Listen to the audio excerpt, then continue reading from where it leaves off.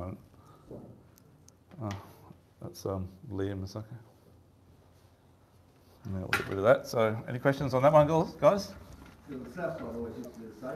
It used to be the Safeway Wally. That's right. So I'm saying if you haven't been it for a few months, and that's the direction your path you normally would take, it's not the right way at the moment. And then, of course, on the north side, it's even worse because it's, and it's actually uh, where the north wall is. That bank's actually trajectorying uh, southeast at the moment. It's actually building up out wider as you go out further. So it's not a clean slate straight out through there either. It actually comes across a bit too. So you've got to go out about 200 metres past the, the north wall, uh, 150 metres, and then dog leg southeast, even if you're going to go north. Yeah. Okay, welcome along tonight. I'm Dougie Burt. This is Stuart Grice, and we've got many other staff here to help, here to help you out. And tonight we're going to um, teach you as much as we know about mackerel fishing and how to do it and uh, try and improve your catches. It's all about.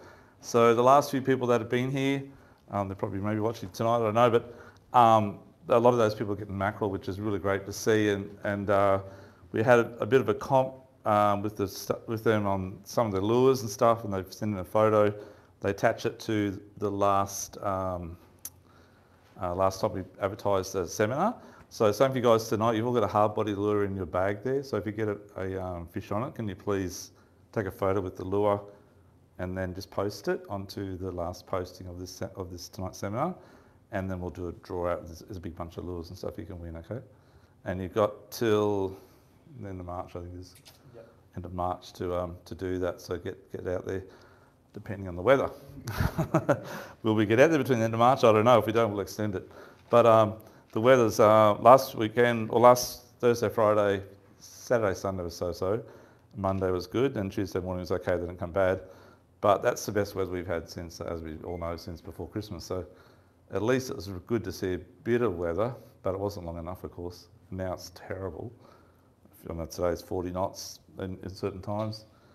And then we got a lot of rain. The rain for the mackerel, what does it do? Okay, two things. If it, if the mackerel on the top, they're not on the top this year, they're down deep, which is a good thing for us. So normally they're on the top, you get the big schools of spotties and all the bait and everything's on the top.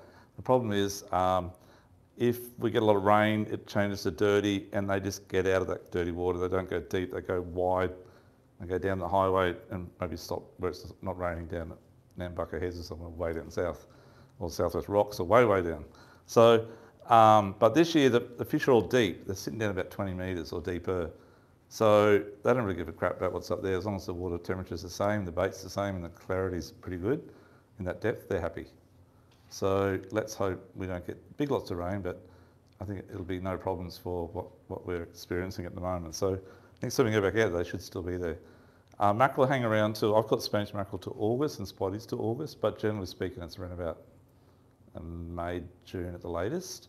Um, Queen's birthday is probably than the latest in June, the old Queen's birthday that is. Um, and uh, the water temperature once it gets below about 21, they just disappear. They go north again, all out that way. So that's all based on water temperature. As the mackerel, they do go south further, and they're getting caught south further as we speak now, as well as here, and also getting caught north further too. So Sunshine Coast, they're having a, a field day at the moment. So those fish will keep coming down and they keep going past us, they stay here, they keep going south. Then once it gets too cold down south in about a month's time, they'll start coming back the other way. Then we get a second hit of the mackerel, spotties, and, that, and the bigger fish too, by the way. Well, the fish at the moment aren't too bad. So the average uh, Spanish demand is about 8 kilo, and there's a few 12s, a few 15s, a couple of 20s, um, and a lot of big ones that you can't stop. Has anyone been done big time yet out the front here? You have? Yeah, okay, a couple of you have. I know we have. Yeah. uh, and there's a lot of wahoo. The wahoo are very early this year and in big numbers. Like um, we lost, I you know, went out Thursday morning, Thursday afternoon, Friday morning, Monday morning, lost four lures. I was two, I was two or three lures on the Thursday. I won on Friday. Yeah. I won on Monday with my friend. So we lost five lures actually. Yeah. So um, it, there's nothing to do about it. Two of those bite offs were way up above the trace. They're like those biting the swivel or whatever it might have been or the knot. Actually, one was bitten at the Albright at the um, wind on leader knot. So it's just bad luck, and it's very quick. It's and it's just loose. You wind in the loose line, re-rig. So anyhow, um, the good thing about bait fishing is you don't get as many bite offs. They will. I did get a bit. Actually, I lie. two weeks ago I was out Yeah. trolling, and um, I had uh, eh, and then I thought, oh, it's going to come back, didn't come back. I waited, waited, waited, and I wound in, and the trace was bitten. My there's um, wire, 58 pound signal strands, about long. It was clean in half, so it was a wahoo again. Spanish mackerel don't bite the wire as easy as wahoo do. Um, very rare. They bite above it or, or near it, but not uh, through it so much. So anyhow, we get to the bait side of things. So we get to go through the gear, um, rods and reels, same scenario, both types of uh, fishing for mackerel. Um, and then it's going to tell you about braid versus mono for trolling, and um, that also includes bait trolling as well. And then um, pitching baits and stuff like that. Um, we'll show you what you use to rig up, and then we'll then do the hard bodies after that. I that's the way to do it. Yeah. So um, with the gear, guys, uh, I'll use anything. I'll use whatever I can find in my, in my shed or whatever I grab out that's closest to me, that's not tangled up. That goes fishing with me for the day. So I don't have my full set of mackerel gear. Perfect. Well, we should have, but I don't have. so, but our idea is to test anything so you guys, when we sell it to you, we know it works. Okay. So whether it be a cheap, crappy combo or a very expensive Tiagra or Talica combo, um, we use right through the whole range, sort of thing. So it all works. Um, just some will break and some doesn't break, but most of the stuff is pretty good. So I think from a TLD combo and above is good. Okay, that's in your, in your overhead gear. Um, and in your spin gear, um, say anything from a, uh, like for spinning, I've used Sedonas and, and Smash, spotted mackerel and Spanish mackerel on it. And they're only $100 reel, if that, you know. Um, but you don't lock your drag it right up. You, you, everything's uh, um, adjusted to, this, to the quality of the gear and the size of the line that you're using. Um, so we'll talk about spinning in, in a moment. But Stewie, what would you use over, the, over that stuff in the lighter gear, mate? Uh, mate, like in the lighter gear, I use very light gear. Yep. Um, fish like get the bite. Um, like that's a general bit of float line in, bit of spinning type rod. Um, you can throw little stick baits and stuff like Mm. that, maybe a little bit of light trolling. It's just a little 4,000 reel, um, and I think it's a 5 to 8 kilo rod, but very universal. Mm. So, Yeah. so that type of one I'd be definitely using for float lining for, for spotties. Um, I'd also use it for spinning metals for um, spotties, which we'll talk about a bit later, uh, and definitely um, and, and catch a Spanish on as well. Um, we'll also talk about with bait fishing about how we anchor up at um, certain times, particularly a bit later, around about sort of April. We do a lot of anchoring up for, for Spanish and that, and spotties, mainly Spanish, out on the diamond reef, and you burley up heaps and you run. Um, they tend to go on live baits or pillies more than anything else at that time of the year. And uh, I run liveys down low, and I run pillies on gangs sort of mid water, and then I'll um, I'll be spinning the burley trails while I'm doing all that. And uh, you get obviously Spanish mackerel spotted, and you get uh, yellowfin tuna as well. You don't get many um, spotties out in the 24s, but I have caught them out there quite a few times. They're predominantly 18 and closer. And Spanish mackerel don't really go past 50 metres on the Gold Coast in depth. That's where they stop. Um, I have caught a spotty at 50 metres at the FAD actually once at the front of a couple of years ago in comp in January. Um, but generally speaking, they don't go past 40 metres or 38 metres. That's their cut-off line. But you go North Queensland, they'll go out all the way to the Barrier Reef. Uh, They'll swim through 300 metre deep water. But it's just this area. That, I don't know what it is. They, they must know from from past. I don't yeah, know what like it is. follow the coastline down, Yeah. they really go wide. a bit scary for them. Uh, a lot of sharks this year too, guys. They haven't been sharked yet fishing for mackerel. Okay, there's a lot of sharks. Yeah, anyhow, I'll talk about that a bit later as well. Um, what else have we got there, Stuart? Next Uh, size so up. Going up in size. Yeah. So So that's like a bit of a slow pitch. Did you bring any jigs up though? I didn't know. I haven't got time No, to talk about today. Yeah. You can slow pitch jig for Spanish and stuff like that, particularly when they're down very deep. Um, so like a grappler combo, it's fairly high up there in quality, but you can use it for trolling, Hmm. um, bit of casting, bit of jigging as well, bait fishing. Yep. Kind of does it all. Yep. And that's just a Stratic SW, so nice and tough, very robust reel. It's a reel that you buy once and it lasts a long time, not just a season. Yeah, so that type of outfit there, guys, it'll do everything. It'll uh, you can float along with it. You can trawl um, deep divers with it, that sort of size. Um, definitely trawl baits with it uh, for Spanish mackerel, and you can jig with it. And as Stewie said, um, it sort of does everything light bait as well. Uh, and that one you'd be running around about 50 pound braid on. Okay, but a very thin 50 pound braid. And the next one up, Stewie. Just to, if you got stuff in this size, guys, we're trying to tell you what you can use and what not to use, okay? So this is kind of just a light trolling type setup. So I think we've got 15 kilo mono on it. Um, it's a little Speedmaster 16.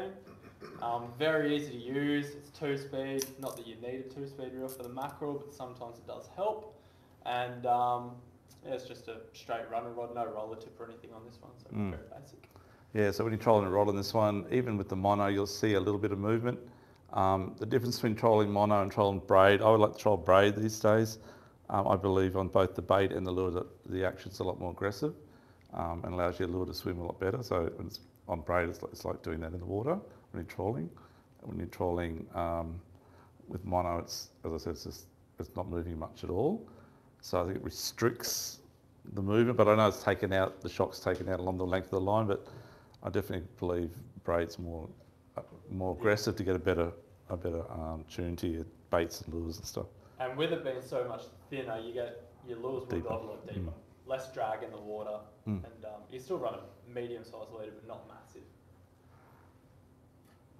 And then that's like a heavy trolling type Yeah. setup. So it's a Speedmaster 25, very similar to like a TLD 25. Um, and yeah, fully rolled rod. So it's pretty extreme, but it's more of a Marlin combo.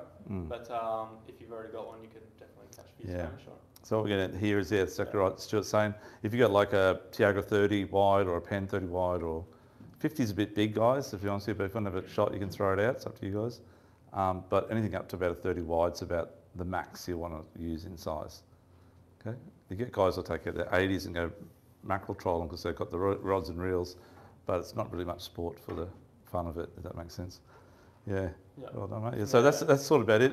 And the only other rods we use are Sabiki rods. So I don't know, because we're getting live bait, um, how many guys use these things before? Has anyone ever not, has anyone not seen these before?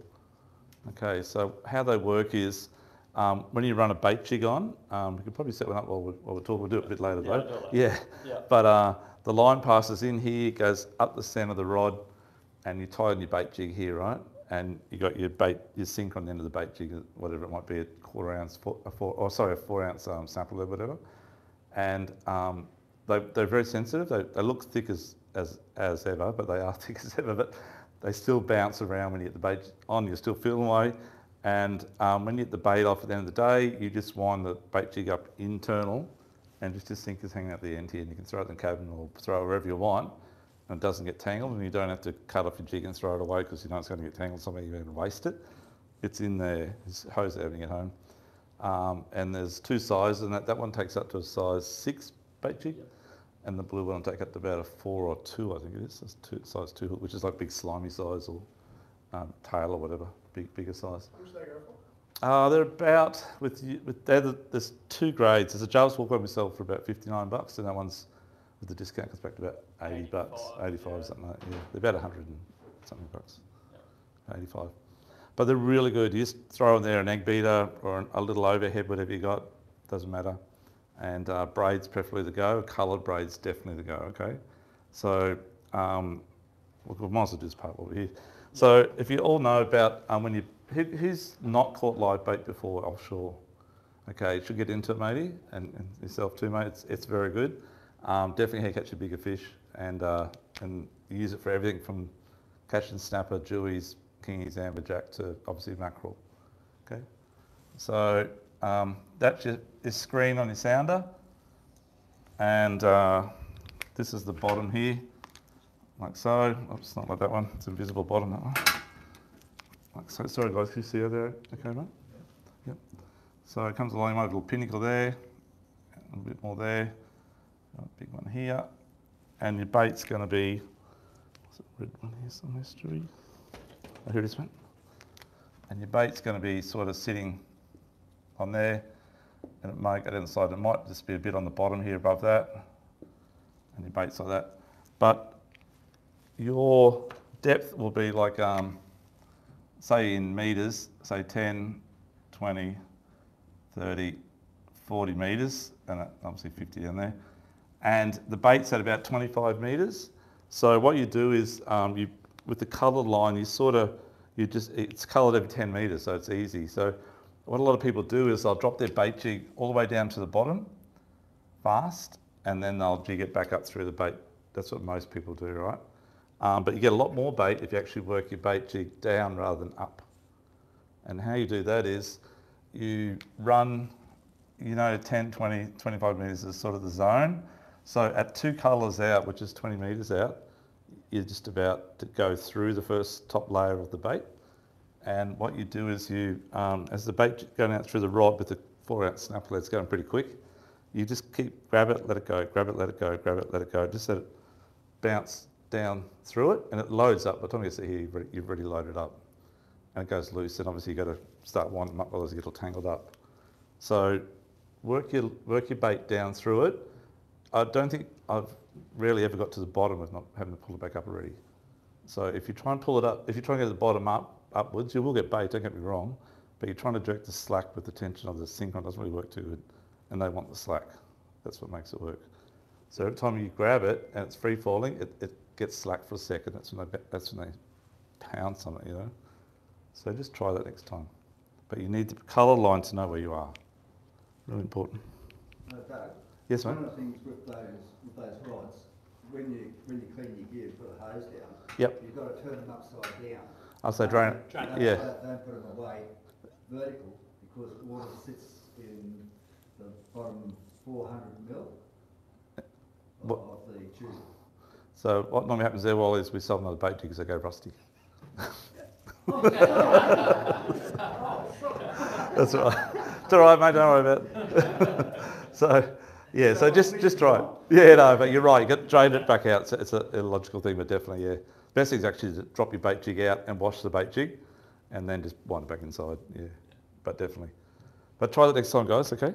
Um, we'll get rid of that one real quick. And So- even if they are right on the bottom, as Doug said, Yep. they like slack lines. Slack. So you see heaps of guys and they just jig like it's very like mechanical. It's like up and down and that's it. Yeah, They yeah. Hardly any. But if you drop it down and jig slack line, um, you smack them. Yeah, if they're actually hugging the bottom, don't actually lift the sinker off the bottom. Give it your rod length another, that length of slack, and just jerk the slack. Okay. Sorry guys, we're just trying to cram everything that we know in, in tonight, so as we go along, we'll, we'll keep giving you ideas. Um, let's do it. So we've done the rods and reels, Yep. um, the line. Okay, um, with the braids and line. So as Stu said before, 15 kilo mono's our biggest selling trolling line. How many people do you troll with mono? Okay, a couple of you do. Do you of guys- stretch. It's yeah. very forgiving. You Yeah. don't pull many hooks out, but your lures, diving wise, don't work as far. That gives you deep. And have you guys ever tried troll and braid at all before? Yep, okay, and how'd you go with that? All right? Okay. You'll mate. have three, you'll have two mono, one Yep, braid, yep.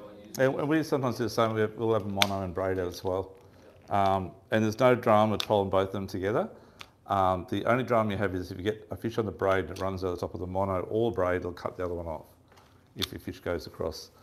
Um, the thing is though, when I'm trawling, I, I'm trying to um, keep my other baits or, or lures in the same zone. So I, um, jumping ahead of the queue here, but when you hook a fish up, right? So when your ratchet's going, it's screaming off, right? And you're doing six knots, say you're trolling hard body lures, um, you should just coolly grab your throttle and pull it back to about two knots. And they so you're still going forward. So don't pull back real quick, because just that real quick can actually make the hook come off the lure. I've had hooks in me and I don't know how they get off the hooks, but they do get off the hooks. And uh, the second thing is, um, then you're traveling at two knots. Um, if you've got a, we've had, we had triple up the other Yeah. day, twice, um, and we had four rods out. So if you, if you only got two guys, you need to get that, probably that fourth rod in first while one guy takes a fish. Okay, so one guy's got a fish on, the other guy's doing the thing and getting the other lure in really quick. Trouble with using lures is baits aren't too bad, but lures tend to fight hard without a fish on it. So it takes a bit of time and effort to get in without getting it flying out of the water and hitting you in the face or something. So be cool about it. In the interim, the other two rods are screaming out, and if one has crossed over the other, that's when you'll lose the fish. Unfortunately, it's just a part of the parcel. Um, if you had a left the other line out there, it may have got a fourth fish, or it might have um, got caught up in the tangle anyhow. So it's just the way it is. Um, but there's been a lot of, uh, I think every time we've been out, we've only had two single strikes. It's all been doubles or triples this year. So it's really good fun. And we will put that video out Um, I think Msaka's working on it now, so next, uh, probably this weekend maybe, and you'll be able to watch what we went through last weekend out there. Um, but um, getting back to what we're saying about braid and mono, they both work well together. Um, so 15 kilo, just to let you know, there, there's a few brands on the market that are really thin, so the idea is to get your lure down deep or your baits down deeper. So not only lures but baits. So when we're trolling baits, we're using like a, um, a lead underneath the first hook or a, or a chin guard, whatever it might be, to try and get the bait down. Trolling really slow, we've just got the boat in gear, or if you're paddling, you're just paddling really slow. And you might be doing like one, one knot or two knots maximum on the jet ski, mate. You might have to try and slow down as much as you can. I know they like to go a bit faster. Um, but within the line, you get your baits down deeper or your lures down deeper in trolling.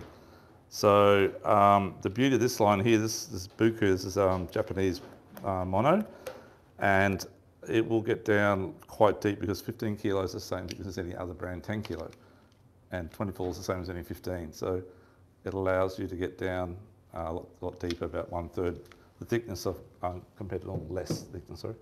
Then in braids, same scenario. So Stewie's got here um, some 60 pound Kairiki. We want to just cut a bit off. Pound, yep. You cut a bit off of each. So um, 60 pound like Kairiki or any of that type of say around about 65 75 dollar braid is probably the biggest seller. Hmm. Um, it is still quite it's very thin compared to mono, but it's still thick. Um, and then obviously you jump up in quality and price to like a thinner braid like a grappler or OSHA braid. It's a lot tighter weave and it's a lot um, thinner. But either of the braids, because of the non-stretch aspect, your lures still work really hard and um, still very direct. Pass one around first. So this is 60 pound. Um, so you need the edge on everything you do when you're fishing, it, no matter whether it be mackerel, whiting, bream, snapper, it doesn't matter everything has a little secret, and every little secret you can use get, get, get you more fish, I promise you.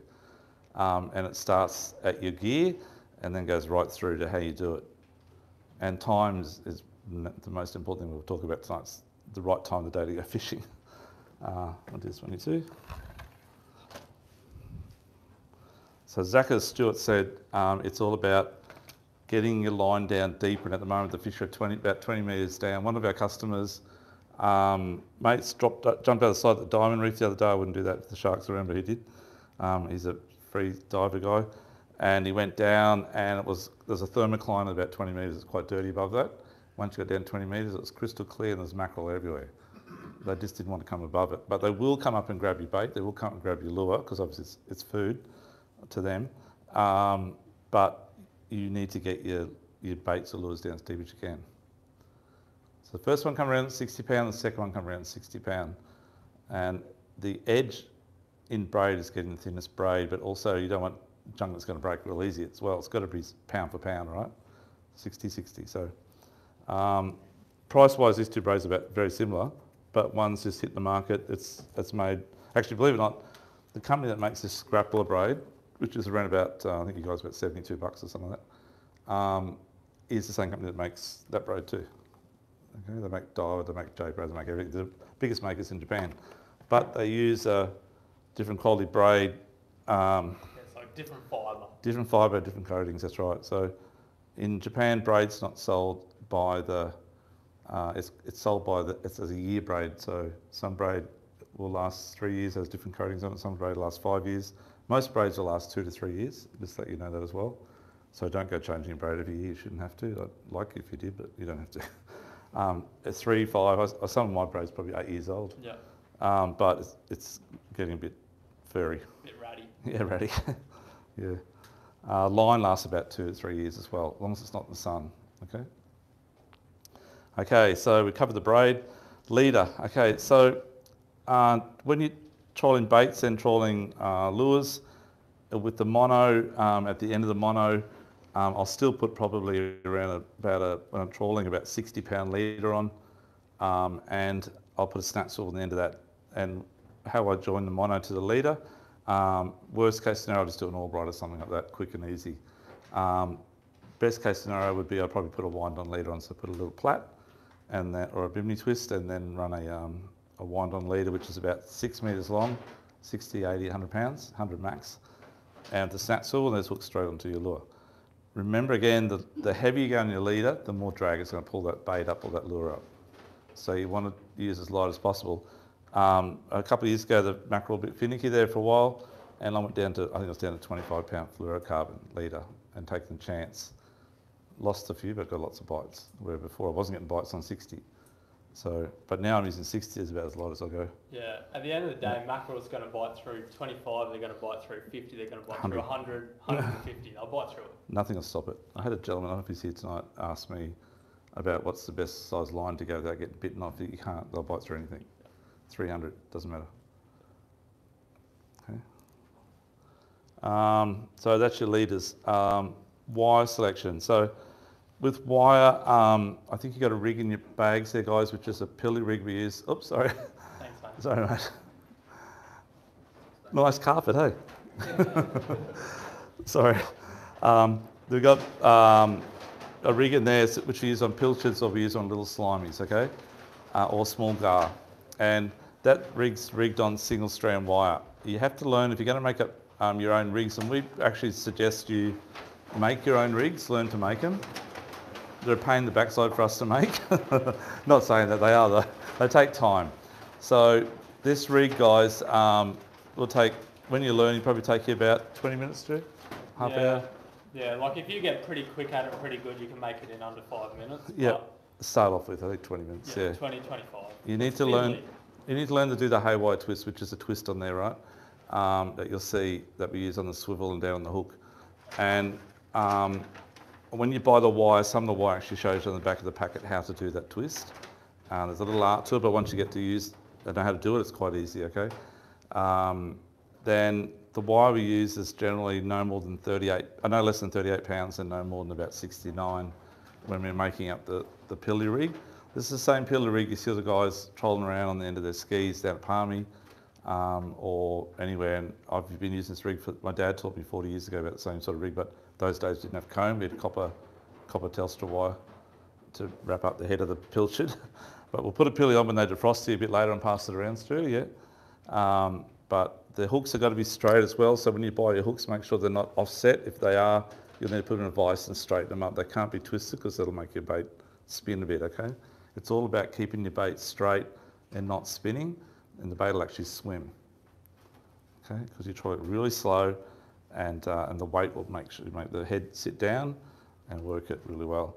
The bigger rig we use is for gar and sauries, which Stewie's got one here, Yeah, it's basically exactly the same, just a bigger hook. bigger brother. And um, we just bend the hooks a little bit as well. It doesn't weaken them too much, um, just Yeah. so it sits a lot nicer in the bait. The lead's a bit heavier, A little bit heavier. and the wire's a bit heavier. Yeah. That's 69 or 88 pounds. So 58's as light as we use in that, and 105 is as heavy as we use on, on the bigger baits. We have, um, we use different size hooks, so we might use up to this sort of size here, which is, a, I think these are eights or nines, they're about six or sevens there, Stuart. Yeah, they are, yeah. And um, as your baits get bigger, um, the hooks get bigger, they might go to four hooks, so you might use that on a big slimy or a gar or, or a, a small uh, tailor, 30, Yeah. 35 centimetre tailor. Um, so, so remember that. Yeah, gotta be careful what I say. Um, so the hooks are all all straight. There's no offset hooks here that we use. Um, you can buy hooks that are pre-done that are straight. Okay, and it's got to put the wire on away you go and, and a sinker. Um, you'll notice down on that on that rig at the bottom end of it where the um, bit of wire sticking up. What that does is that goes through the bottom of the fish's mouth and out through its nose, and that cone will go, go down, um, and that little wire sticking up through his head. His head's here. The wire's sticking up, and that cone goes down. It's got like a little end on it, and that goes between that that little bit of wire sticking up, and then you screw, uh, keep screwing up the screw on that um, spring on its head until it can't turn anymore. It's sort of locked in place, and then you pull the skirt down over the top, and then just drop it in the water nice and neatly, and it will swim beautifully. Okay, at slow speed, not at six knots, but at one or two knots. Yeah. Pe- Like people think that the skirt is just for looks. It does help, Mm. but um, it's to actually break up a lot of water as well. So it just kind of tapers water and directs it around the bait. 100% right. Whereas if you just run a nose cone on it, like there's a hole at the end of the nose cone, and um, it'll just fill your baits up with water and just blow them apart, blow them off the hooks, So, even at slow speed. Because water's quite warm, your baits are cooking while you troll, mm. so they do get softer. They soften up. That's right. So, um, and this is called a, oh, it's called a wog head. That's what the terminology is. Um, they're very popular at North Queensland. So it looks like that. Looks like you put it on a light shade or something, but it pulls back like that in the water. The head's there. Inside the head is a is a great big hole. Um, you can see that there, big hole there, and in that hole, that cone goes up inside and guides it into there. As Stuart said before, same deal again. It's all locked in place. Um, there's no water can get on it and make it twist or whatever. It's all beautiful through the water, and uh, it'll swim really well. Um, there's a lot of things we do though, like garfish. We we pop the meat off the back to make it really swim well, which I'll show you in a moment when it defrosts. Um, sauries, um, they're pretty straightforward. They're like a gar, but a little bit more uh, slimmer. They're like a Japanese pilchards, that's what they are, but we catch them at the front end as well. Um, the pilchards, um, we don't do much, but bonito and um, even slimies, sometimes you'll crack the tail without breaking the skin, so you break the bone just up where the tail sort of meets, like that at the back, and that'll make the tail swim as well. But you don't crack the skin. As Stuart said, when you pull them through the water, they get a lot of, uh, like obviously movement of water on them, and they can um, disintegrate pretty easy. And the other big thing too with trawling at the moment is a lot of weed out there, guys. So you need to be on the ball, checking your baits, checking your line, checking your lures all the time. Because you get a bit of weed on there, you could trawl for two hours and say, oh, I've got no bites, it was crap today. And then you wind in, you got a big hunk of weed hanging off your bait, that's why. And you got to go home, it's time to go to work. So check your baits every 15 minutes, check your lines, really important. Um, any questions so far on that at all? No, all good? Okay, there are other things you can use. Um, I use this for wahoo too, but anything, those metal heads, if you've got that sort of thing, because they're heavy, okay? They'll help get your bait down deeper. So um, look at what you got in your tackle box and try and make it work. Okay, all we got it here to sell you. In skirts, there's a trillion different colours. I, I think they nearly all do work, but pink is our biggest seller. Pink's our biggest seller, closely followed by white. Yeah, it's, yeah last year, the, Yeah. I think I told this question before, but last year we ran out of pink ones. We couldn't get pink ones. Um, as COVID comes in, there's a lot of things we can't get at times. We've got to wait. We've got to um, try something else. We had a heap of white skirts. We put the white ones on. The pink ones come back in stock. We sold all the white ones, a lot of the white ones. Put all the pink ones back on again, no more white. And then we don't want white because they've been catching fish on the white. We've never done white before. And uh, so now we do pink and white. And they actually bring out a, a, a like yeah, a like a red head, like a Red. quarter style. yeah, pink and white, red and white skirt. Bit of both, best of both worlds. Um, but that's your sort of rig. So we'll come back to um, rigging up the baits because We'll do we've baits got to get the very- baits out. They're just they're not defrosted. So we'll keep going along the track here. So you got anything to add to that at all, mate, so far? Um, no, that's about it. Yeah, Yeah. I think the biggest thing, as you said, Doug, Mm. like there's a lot of water pressure on a bait. Try not to have a crappy Ah. old slimy that's been in the esky for three trips that has like holes in the skin and all that because they'll just fall straight off your hooks. Yep. Is it still better to troll liveys than just dead baits? Yeah, I've got to come right up to that in one sec. uh, but while we're on dead baits, um, this is called a, um, a chin guard. You ever heard the terminology chin guard? That's one there, right? We sell them downstairs. Um, there's two sizes. And how this works is, um, don't use those little hooks. I don't know why it comes those little hooks, so it's ridiculous. But anyway, get rid of those, put some of those big ones on. Um, you don't need the, the wire cone or anything on this, okay? So how this works is you line up so his mouth sits at the front of the V in there, and then you just push that up underneath and out the top of his head. That's quite heavy wire. They come with these little tiny bands, little rubber bands here somewhere. That seems to it, yep. And then the bands, um, the little tiny rubber bands, and you just hook it over, go under, then back over the top, and hook it over the top of the pin again. And that holds him all in place in there. Plus, you've already got the hooks up his guts, okay? We'll show you how to rig up, as I said, when we rig the baits up, we'll explain how to put the hooks in. Um, but these are really good because they're so heavy. That's four ounces or six ounces. I think it's quite heavy. So your baits is going to go wumbo down. How do we get baits down deeper? Um, there's three ways. One is first way is using heavy weights on the head. Okay. Second way is um, if you haven't got heavy weights on the head, you come up about a metre and then run two swivels and put a barrel sinker in the front of that. So about a metre up from your bait or a metre and a half. Remember that's as far as you're going to be able to wind your line up to gaff the fish. You've got to remember that. Okay, those big sinkers are hanging around, swinging around, and uh, can maybe rip the hooks out of the fish. Um, so metre's probably the safest length to do it at because you can get right up to the fish then with the gaff. um, but you run one eight ounce barrel or two eight ounce barrels. I'll run. Um, if I'm trolling, so my mate's got his downrigger, right? And how many people have downriggers on their boats? Anyone have downrigger? Some of you do. So downriggers are fantastic. Um, and you probably, if you're not using it, make sure you do start using it. But um, so this is my downrigger here, like that, and this is my rod sitting close to there, like that. And with the downrigger, you can um, you let out your line first, right? Sort of 40 meters back or 30 meters back with your bait swimming, uh, your bait attached or a live bait, whichever it may be. Not lures, I'm talking baits, okay? And then you just grab your line and you pull it into here. So this sort of goes, um, that, yeah, I won't do that.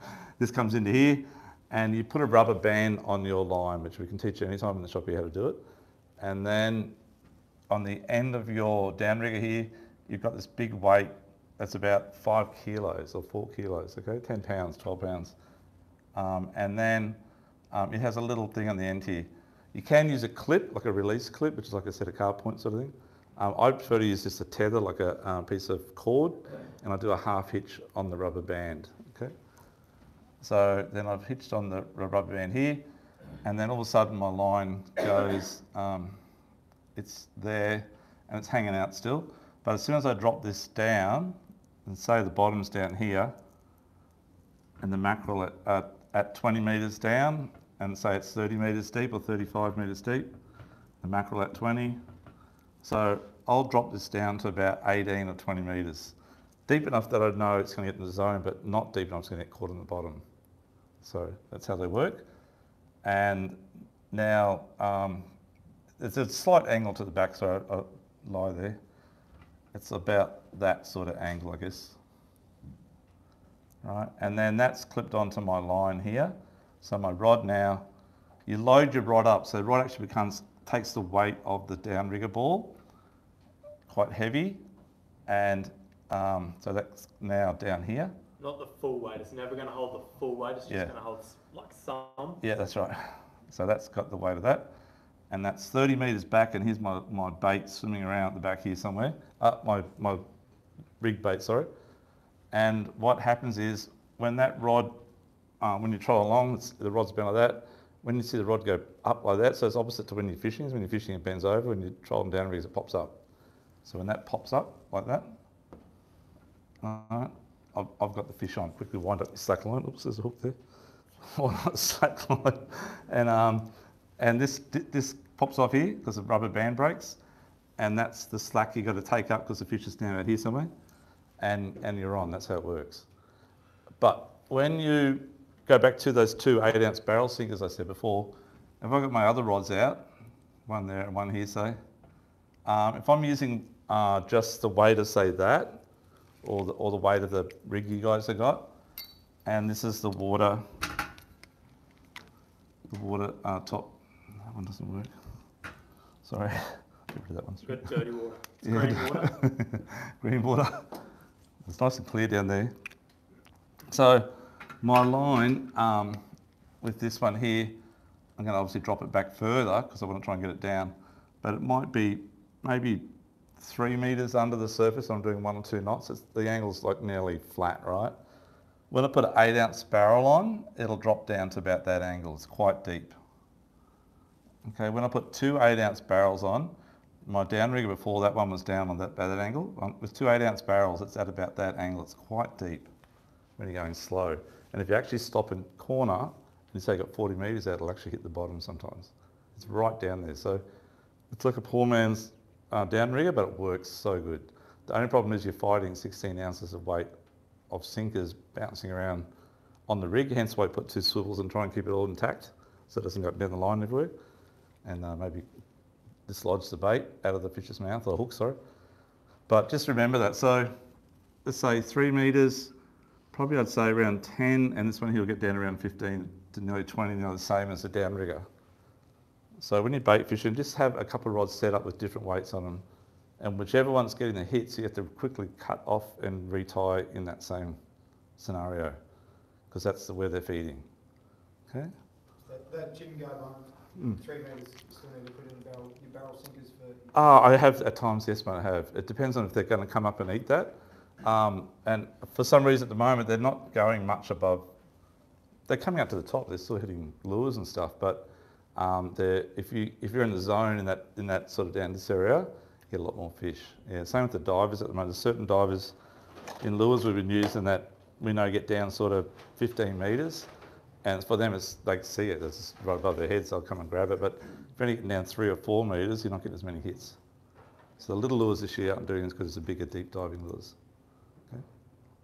Okay. Does that all make sense? Yep, cool. Um, what else we could talk about there, Stewie, on the baits? Um, I'll just touch on this real quickly. With everything, there's been a shortage of absolutely everything. Um, just if you've got any chin guards at home or anything, see how the hooks sit that way. So Oh, they've yeah. actually put the eye in wrong. So if you buy it here, we'll do it for you. But um, you just need another split ring on it, just so the hooks always sit upwards. Like so, they actually sit along the gut of the fish and up. Um, you don't want to put the hooks in the side of your pilly or your gar or Mm. anything because that will create spin because it's more weighted on one side. So you put the hooks in and, and um, not exposing the the hook No. at all? No, tips, no, it's The generally, tips might just be through. yeah, on, on some of the baits, but generally not. No, they're, they're Generally not. embedded inside, but they'll, they'll just crunch it so hard and pull, yeah. as soon as, because the momentum's forward and they're pulling back, it's gonna, um, they're gonna get hooked up. Yeah, the beauty about bait fishing is you rarely lose a fish when they hit it, you're hooked. Yeah, and it's generally down further than a, than a, a, a hard body's sort of in the mouth somewhere, you know? Yeah. Um, I think that's about probably it on the on that side of things. Yeah. Let's go to the live bait now. So, so live bait rigs. Um, so with live bait rigs, um, we, you have to have certain type of live bait rigs made up, which is generally a single hook at the front, small trace. This is one we make in the shop here. Short trace. That's a little bit maybe too short maybe at the moment, but not too bad for spotties. It's Very good. small bait. Very small bait, but for little yakkers, that's perfect. I'll pass this around. Um, so what happens is um, that hook there will go in here and out, or through his nose and out, and this one here will just dig into the side of him. It won't go right through. It'll just go through the side, not even to his spine, and uh, and just stick out, or it'll go in his belly, and just two will sit out either side of him at the back. Does that make sense? We'll pass one around when we get these baits defrosted. Pretend it's a live bait. Um, and then as you get bigger, say your baits get bigger and you're using like um, uh, like a, a decent sized slimy or something like that, your rig gets a little bit bigger again. So a little bit more at the front. I'm using single strand wire. That one's actually snelled on. That's uh, 40 pound. Is it? Stu? Yeah, it's about 40 pound nylon Yep. coated. Yep. So multi-strand under it and it's nylon coated over the top. So you can snell hooks on. I think I've showed people last year how we snell on our little uh, float line hook, which we'll talk about a bit later. Um, but you can snell wire as well. So it allows you to use two hooks instead of crimping off another one or tying another one off. This one's actually tied off on, on the eye twice. So one's the trace and one's the, um, sorry, that's the trace there, and one's the treble. Um, why do you use a treble instead of a single hook at the back? The hookup rate is by far better. It's so much better. So you need to learn to use trebles instead of two lots of single hooks. Um, I know for jewies, everything else that we use two single hooks for live bait, for kings, whatever. But for mackerel, a treble's better. Okay.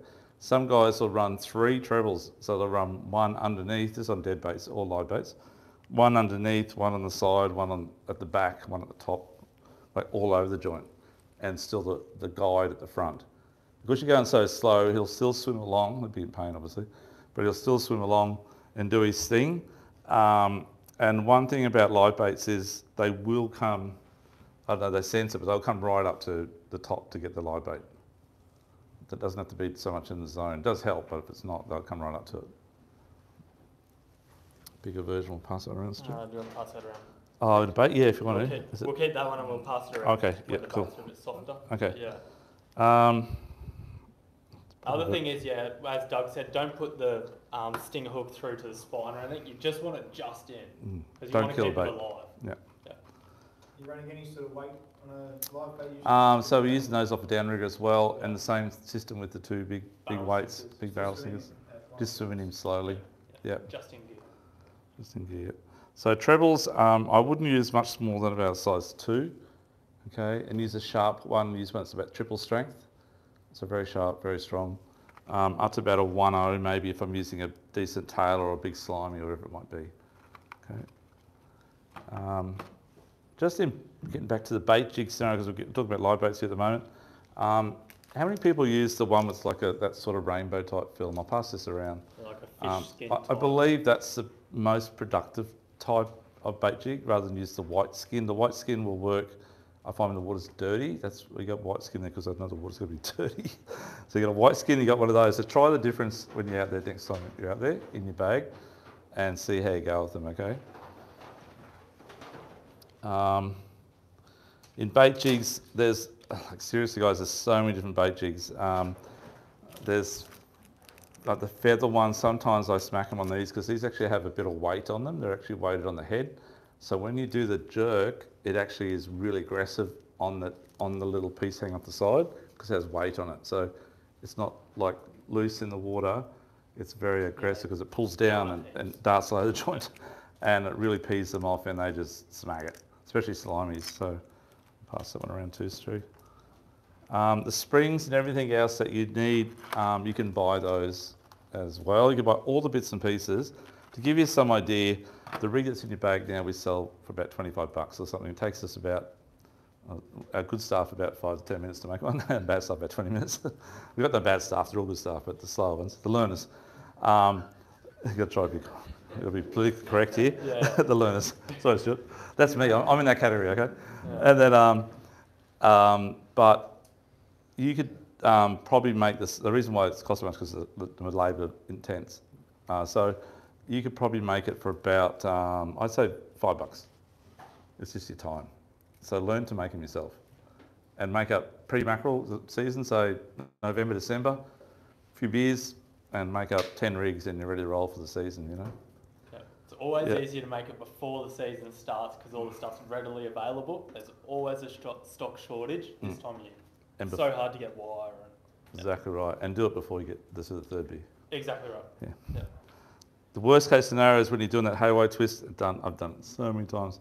The wire will go and it sticks outside your finger somewhere. It's, it's, it's very aggressive and sharp. so be careful with the wire. Um, okay, bait jigs. This one on the bait jig. We talked, told you how to do it. I hope you try it, guys. Okay. Um, this little tool here is a little Sabiki bait jig dehooker. So has anyone used the dehooker on the reef style where you just flip the fish into the basket? It's a baby version of it. So good. So when you've got this string of fish, right, you just hold the weight at the top, hook this onto the first fish above the bait well and just go like that and it just flips straight into the well without touching it. If you touch it, you're going to take the slime off and you're going to destroy it, like it'll die quicker. It won't die straight away, but it'll die quicker. Yeah. Second thing is you're going to get your hand spiked to the crap of it trying to do it. Generally falls on the floor, then you have trouble trying to pick it up, you hit your head on something while the wave goes like that, trying to get it off the floor. It all happens. Um, these things make life easier, about five bucks. Pass that around too. Thanks, Stuart. Um, okay, that's probably about it. Okay, now I'm going to tell you how to do it with the, with the baits, how we do it, anyhow, Stuart and I do it. So um, we'll get it rigged up in a moment, but we'll just uh, grab one of these pens. So, really important to understand your GPS, understand where the fish are. So, if I'm going to get um, bait fishing, I still take my hard bodies and I'll troll the first 10 or 15 minutes with hard bodies. And I'll try and work out where the fish are. They move around a little bit, but they're generally on the pinnacles, always on the pinnacles, uh, or on bait if the bait's sitting off the pinnacles. Um, and with uh, with mackerel, I'll just do that. Say this is your. Can you all see that from the back? Okay. Bit hard, maybe. Got a black one. Uh, you keep losing them, Stu. Yeah. Someone? that blue one worked, do you reckon? Uh, yeah, that should. Trying to find it a bit darker. You. Oh, cheers, mate. Thank you, sir. So, so that's your um, plotter, and that's your sounder. Okay. So, I've got a couple marks on my on my screen where they normally are. Might be number 13, number 11's over here, and I've got a couple little fish symbols maybe here, here, and maybe one over here. And I know this spot here and this spot here really work well, and they're maybe 400 metres apart or 500 metres apart from there to there. And that one there's maybe 150 or 200 metres that way, and a couple in between. So what I'll do is I'll throw my at least two or three hard bodies out. I'll be sitting on about six knots, and I'm coming down. This is this is um, south here. This is north, and I'm heading from the seaway to here. When I get to about probably around here somewhere, 100 metres before it, I'll put the lures out, make sure my baits are out and defrosting. Always forget to do that. And then uh, and I get to about, uh, I'll head straight for that zone there, right? Um, when I get there, I'll look at the screen, hope the screen, that, that area there's like this little pinnacle here coming up. If there's bait on there, that's all good, but you want to try and see this sort of thing, which is like lines. And that's how mackerel look when they're stacked up. They're rarely that way. They're not like um, so much like this all the thing. They're always vertically. That's just the way they sit in the school. Have you ever noticed anyone seen that before out there with the mackerel? You should have, hopefully. If you haven't, try and dial your sounder in a bit better.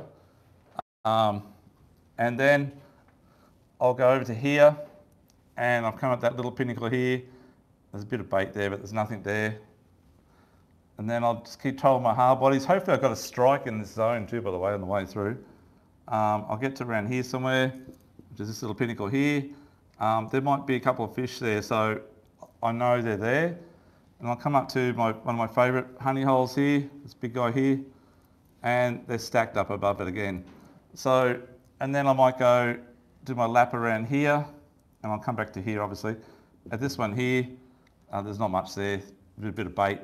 So what I'll do, I'll just do one more lap around. Hopefully if I've got a hit, I'll keep trolling the hard bodies, by the way, until they don't go. But if I give it two laps, I haven't got a fish, then I'll drop it, I'll stick to live bait, uh, to my baits, or I'll get live baits and drop the live baits out. But I'll be concentrating, knowing that and that one route and that one there. So I'll probably skip that one, and my next um, lap will be in this sort of progression. I probably won't worry about that one there, and I'll just come back up and just maybe look for some new ground on the way around, and then just keep doing like that sort of lap around, okay? And that's how I'll do it for uh, one or two hours. If there's nothing happening by that time, um, and they're not taking the baits, and, I, and I've got a hit on a hard body earlier, I might switch back to hard bodies. Okay, but if there's a bite time, which is what I spoke about earlier, um, I'll definitely have either the baits or the lures I'll, I'll I'm going to use um, will be at that time is, is worth waiting for. So what I mean by that is, um, if you got high tide at say 6 a.m., okay, high tide. Um, I, I, don't know about Stuart, but I think Stuart works similar to me. Yeah. There's always a bite time. Doesn't matter if you're flatty fishing or mackerel fishing or snap or whatever. It's always about two hours after, so it'll start about. You'll, you'll get a high tide bite time. You always get a bite time on the tide, but then you'll always get one about two hours later, two and a half hours later, so around eight, and it'll go for about two hours to about ten. So that bite period there will be better than that or better than the low tide one. And that's called the major bite time of the day. And it's always two hours or two and a half hours after high tide. Okay, and it coincides sometimes with moon rising or moon setting, but generally moon rising actually. And, um, and, it's, and it, for some reason it, it's always around that period after high tide. It's never after low tide, it's, it's always high tide. So have you got, anyone never worked on that before? Please try it. Everything, doesn't matter if it's prawns, crabs, fish, squid. It's just, that's it. um, no, it doesn't at all. So, oh, you will. So you get three bite times. You get obviously sunrise, sunset. That's two bite times actually. You get four. Then you'll get your tide bite times, which is the high tide and the low tide. There's always a minor bite period. They call it the minor bite period, and the major bite period is always that period after high tide. And if you can get that if that was at 4 a.m. and that was at 6 till 8, that's the hottest. That's, what, that's when you get like the three fish stacked up on the bite charts. Because um, you know it's the right time in the morning, as you're saying. Um, and it's also the perfect time to um, um, get that period of, of, bite time. The problem we have at this time of the year is um, if you do get that period, which is coming up next week, um, and next week there's a big swell forecast from that big low that's over near Solomons or something, I don't know, around Vanuatu at the moment, that's building. Um, I had a look at the, to- uh, the charts next week. The wind drops off sort of Wednesday, um, but the swell picks up the 2.4 to 4 metres on the sets. And that's always, when you finish that period, it's getting towards the bottom of the tide. And when you come in, it's a bit ugly. And the wind comes up, it's even more ugly. So it's, you got to be careful if you want to try and get that bite period. But when you get, when you have a lot of luck with the bite period, it's very um, addictive. And you sort of take the punt on the seaway. Because you know it's going to happen. Like we went out, I went out with a friend of mine on uh, Jason on Thursday. We went Friday, we went, yeah, Yeah. Thursday. Thursday morning, and um, the bite period wasn't until sort of midday. And um, we went out in the morning and we got, uh, Lost three. yeah, lost three, I think. Yeah, bit not fun and lost two others. And we only fished until a bit of work at eight o'clock, so we only fished for an hour, 58 minutes or something. It was a very quick fish. Um, but we knew the bite period was coming up just before lunch. So went to work and then I, I snuck out of here for just two hours and he picked me up at the boat ramp, at the mar- marina, sorry. It went a bit like this. Oh, I'm just did, just nipping out, Stu. Just got to drop something off. And like five hours later, we're like, where is he? And Yeah. yeah. long two hours, yeah. yeah. So yeah, he picked me up at, at 12. I was running a bit late. Picked me up at 12. He was already waiting. And we were back in by 2. Um, but then I get organised dad to clean the fish or whatever. Um, so um, that period between 12 and 2, we got, um, we, in between wine and fishing, we hooked up seven fish, or eight fish, seven definitely. We had um, a single hit, a double hit, I think, and maybe two triples, one eight hits, I don't know what it was. Um, it was just off the Richter scale. And it was in the middle of the day, like one o'clock in the afternoon. But it was on that perfect bite time period. And that's how addictive it is because you just know it's going to work. And it doesn't matter if I'm out pearl perch fishing on the bottom out there, you know, 50 k's out, and it says two o'clock in the afternoon, we're not getting anything all morning, so just nothing. We'll wait, and we just know only a bag out within, you know, two drifts, because that's when the bite period is. So please understand in, in all, all your fishing, the bite period, understand that. Solunar charts are pretty close to it actually. Very close. And windy's not too bad as well. Yeah. So that's going to be my scenario. Does that all make sense? Okay. Um, but you need to mark new ground. So um, this year, for those of you who've been down to the Diamond Reef or Southport, which seems to be the honey hole at the moment, um, on any given day during the week, last week there were 60 boats there. I don't know where those guys don't work or whatever, but there was a lot of boats. So they've all got three guys in each boat. There's 200 guys that aren't working. Um, maybe some retired. I don't know. Good on them. Uh, and then on Saturday, I didn't go out, but I heard there was like 120 Yeah, boats there. of Did anyone go out Saturday? You went out, mate? Yeah. Off the Richter scale. People. That, Yeah. can control that. So I- I'm going to talk about trolling. When we go hard bodies, it's really hard to troll hard bodies with a lot of boats. Um, but you need to um, be politically correct in your driving skills and lots of other things. And when you're using baits, because your lines aren't down so deep, they're a long way out to try and get them down deep. So when you get a lot of boats around, it's really hard to troll um, three or four rods out, knowing they're 60 metres behind the boat, and there's a guy coming straight across your backside, and if you speed up, you're going to rip the baits off the off the hooks. So it's a really like, what do you do? You know, the best thing to actually do is actually just stop and let your bait sink, because you can't beat him. If he's trolling lures fast and you're trolling slow, he's going to run over your lines. Okay, so just stop, and then he'll normally move away a bit if you stop as well, and let your line sink down. So that's one comment I can give you. How to do it, because there's there theoretically should keep going like that around your, around your things, but some people must have their marks that way, so they'll go that way while the other boats are going this way, and it gets pretty busy and, and a bit um, daunting at times. And you just got to put up with it. And that's the way it is. We're all learning. Um, so that's about it for bait fishing. Any questions at all on bait? Okay, everyone's good. So you got your gear, you got your live bait, you got your dead baits. Yes, mate. So you're always trolling with your, with your baits? Ah, You are. Um, in that aspect, I'm going to quickly go to float lining next and, and anchor at anchor, stuff like that next. Yeah, but, but with this scenario, yeah, we're trolling, mate, 100%. One to two knots, no faster. The slowest your boat could do. If you've got two motors, turn one off. Or just leave it neutral and troll with one motor. You need to try and keep the speed down as low as you can. Okay? Um, so you need to add to that, Paddy, at all? No, that's about it. I Yeah, think on yeah, baits. Yeah. Okay. Yeah. So the next case scenario is, um, as I said earlier, um, I've got that mark I like to go to. It's got the big pinnacle, and um, the pinnacle's say down here on the bottom, and the bait's here, and I've got mackerel on my sound like this, and a couple more over here. I'm going to try and put my boat. The tide's going this way, so I'm going to try and put my boat around about here somewhere at anchor. Guys do drift with live baits out there, and I think it was last Thursday when I was out there. Um, there's, or, or even Friday, there's a few guys hooking up on live baits, just drifting live baits at the back. Um, some guys had balloons on them, some guys had them down deeper. They're just drifting with live baits, mate, and did well. Um, and this is the surface here. So, and I've got my rods out everywhere. I'll I'll put out four or five rods, obviously two of us in the boat, count that's three per person, um, in, in that scenario. Um, and I'll have one right down here with a light bait on it, okay? So it's down deep. Um, I generally run a live bait, I run my sinker right on top of, the, of his head, just to hold him in position sort of thing.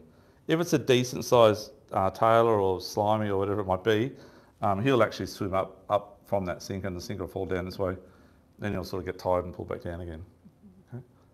Um, then my next one, I'm going to put maybe another livey out halfway down in this area here. Um, I wouldn't, I don't normally put them out the back on a balloon. Some guys do, but it's just too dangerous for the guys zooming around if You're looking for trouble. So keep them down fairly deep. Um, and then I'll have this one here, I'll have a pilly out with just a small ball sinker. That's about as far as I go, with just a gang hook on. I like to use small gangs on for mackerel, like about three 2Os, because the hook's really hidden in the bait. I use fairly big pillies, little hooks. I know it doesn't sound ethical or right, but it works. So I use big hooks and little pillies. I don't get as many bites, it becomes too visible. The hooks sometimes fall out of the pilly. Um, but if you go the other way, it works really well. Okay. So I've got a pilly out here. Um, and I might put two of those out. I might put one down just a little bit deeper here out the back, a pilly on it and a, and a ball sinker straight onto it. Um, I don't use wire on those. I take the punt. I do get bitten off sometimes, but I get the gang hook is about probably I say about 60% return rate of getting a fish on it. Where if you use a single hook, it's an instant bite off on, on mono. The gang hook's not too bad. So little gang hooks, three 2Os or three 3Os, three 4Os max. Even I had a pilch like this big one here, um, I'd only have maybe three 4Os in it, which is only going to probably go to about here on the pilly. Um, but that's how I want to do it.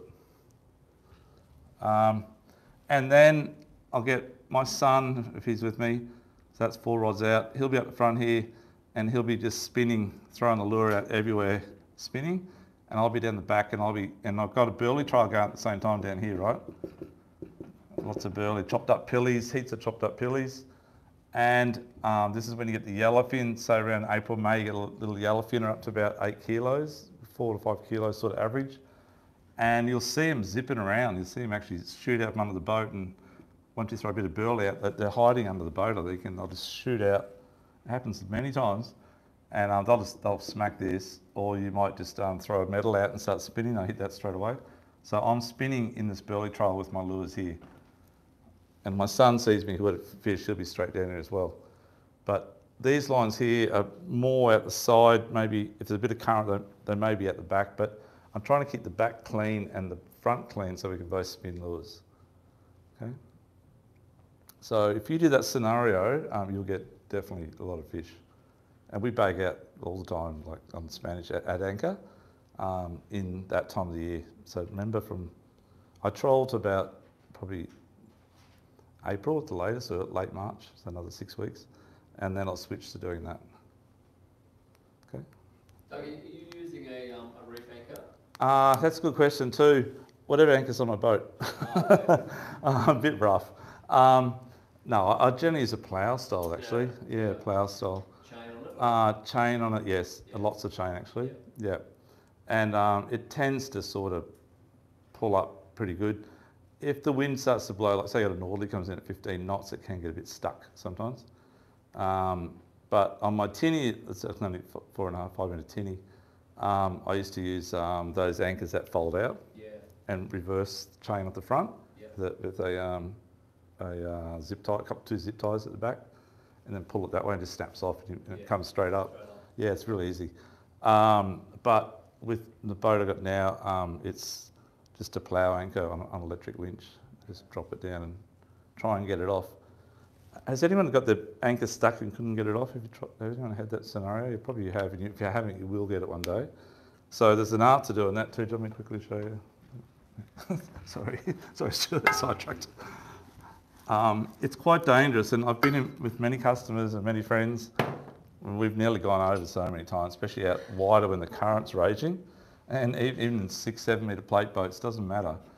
But um, if this is your boat here, oh sorry, let's make sure it doesn't look like it's going under it, straight.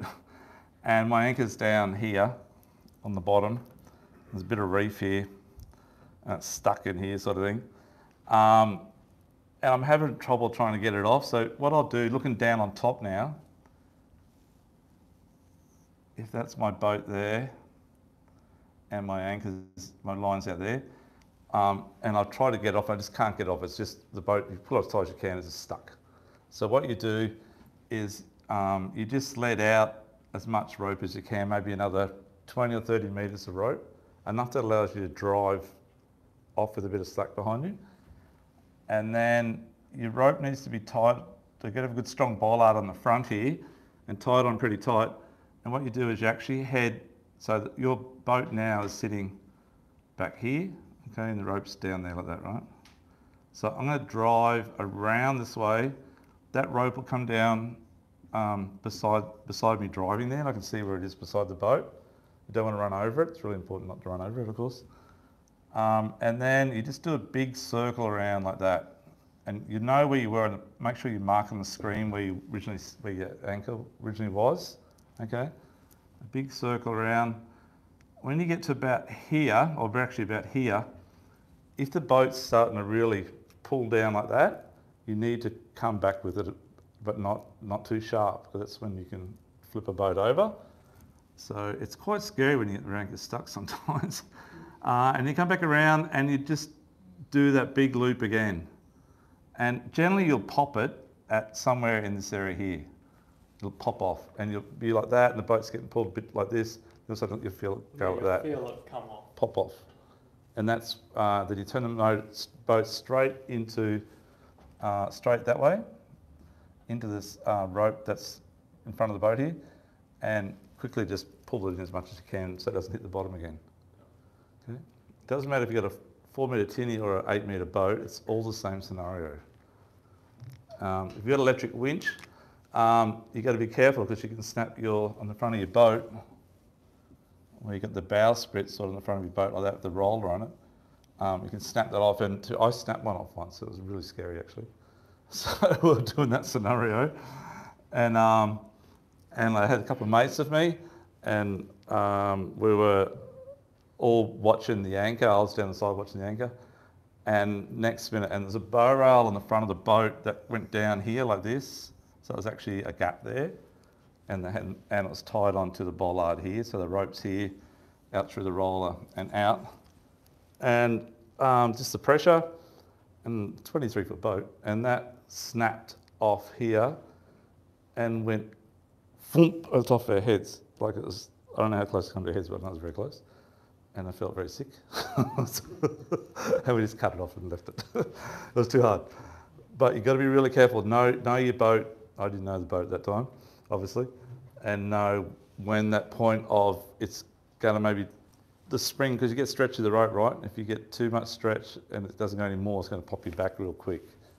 And don't ever, the most important thing is ever, um, if you're in this scenario sitting here like this, like that, with your anchor like that, and you think, I'll pull it from the back, all right? And if you um, get some loose rope and you tie it on here, right?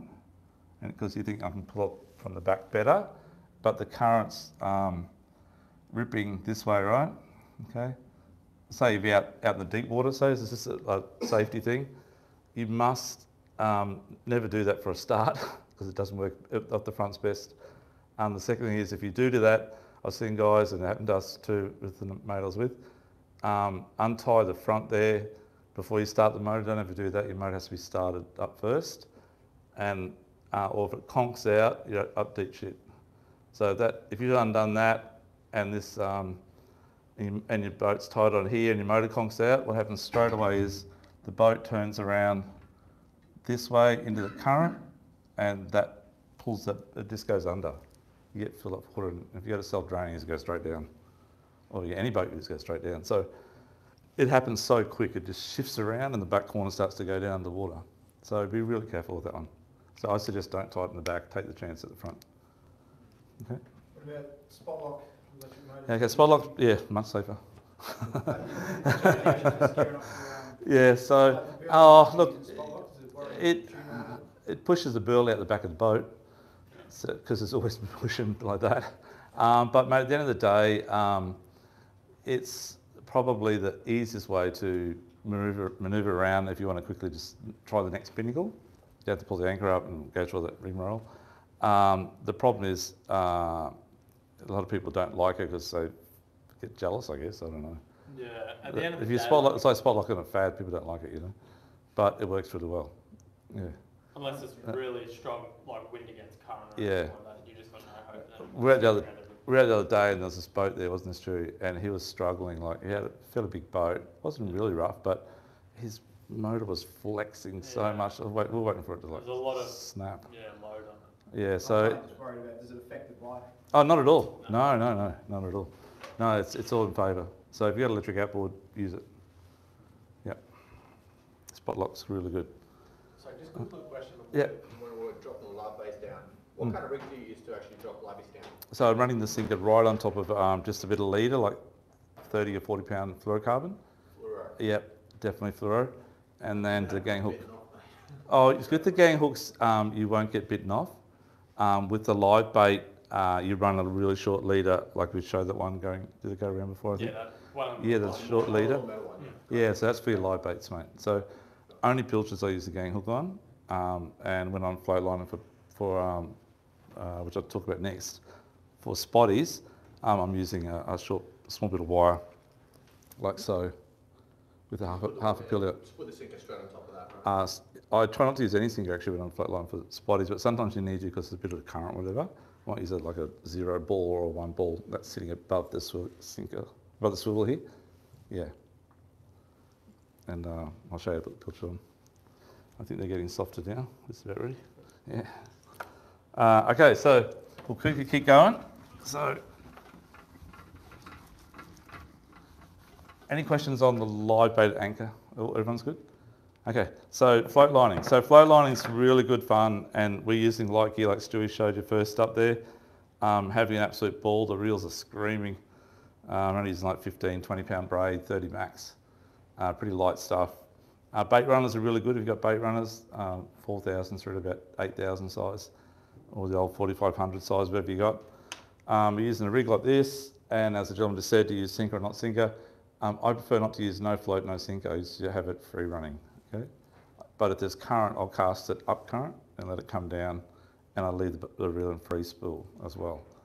Um, with using overheads, it's hard to cast an overhead with unweighted pilchard on it, right? You can't really do it very well. It's a little bait caster you can, but if you've got like a, I don't know, like a TLD. the TLD 10 or- Yeah. or 15, well, sorry, 15 these days, um, some age. Um, it's hard to cast, so you'll see guys in boats down at Palmy and Mermaid, they'll put the bait in the water and they'll just strip it off by hand and just let it run out. And that's all you can do. You can't really do much else. So that's why I like to use egg beaters. And I leave the bail arm open and I cast it up and I just see it flick out like a snapper fish just flicking out 100 miles an hour, you know they've hit it on the fall. Um, otherwise, it gets to the right zone. I just click it into gear.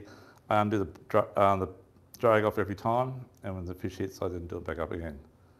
Okay, you can get little clips that you can clip your line into um, that sits on the rod, and it just and have your drag preset, and it just um, flicks out off that.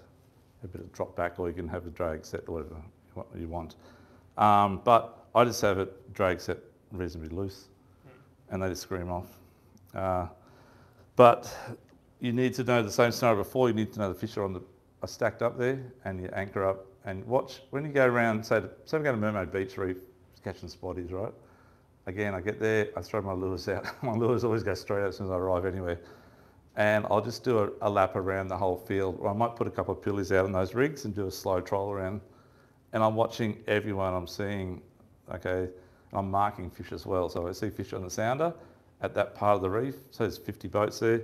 I obviously don't go through the middle and I go around them. And um, I've got a few spots already that I know will work, but if I'm going around and all of a sudden I see fish there and he's getting a fish or those few boats there are getting them, I'm probably going to come back to that spot and I'll go do a lap right around and if there's not much happening at all in that 20 minutes it's taking me to go right around the whole pack, I'll then um, probably go to my spots and just wait or wait for that um, bite time period and they'll come on. If um, uh, everyone's catching them because mackerel do move around, so they're not necessarily going to stay in that one area, especially that palmy and mermaid. They do big, um, big circles around. That's why you hear people's ratchets going here and then here and then here, and eventually it gets to you. They just keep doing a big circle around everyone. takes maybe half an hour or 20 minutes for them, before they come back again. And that's just how it works. So if you, anyone experienced that down there yet? I'm sure you would have, I think, because that's how it normally works. Um, one other thing I found at Mermaid too, when I'm trolling those pillies on those rigs, which are extremely good, if you've got not too many boats, drop them right out. I'm talking like 80 to 100 metres back, right, right out. You don't need to add any weight to them because down there's only what is it, 16 metres deep or something. It's quite shallow, 18 metres deep. Um, your line's getting down probably two or three metres. When I see those fish stacked up, and I know my line's 100 metres back, just after I go over them, I'll pull the back to neutral, my motor, um, and jet ski, just put back in neutral mode, and let those baits sink down right in amongst, because you're, you as your momentum's going forward, um, so I do this as soon as I go to those fish, I pull back to neutral. So my momentum's going forward, my baits are going down. By the time I sort of estimate where the fish were, my baits are hopefully in the zone. Um, you don't hit the bottom though, and then as soon as I click it in the gear and they come back up, just they're on. This is how it happens.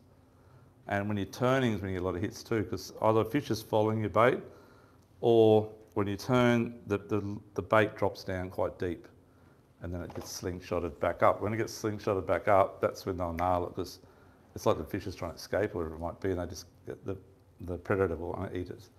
And simple as that. So you get a lot of fish on, on the turns as you're turning. Okay. Little hints.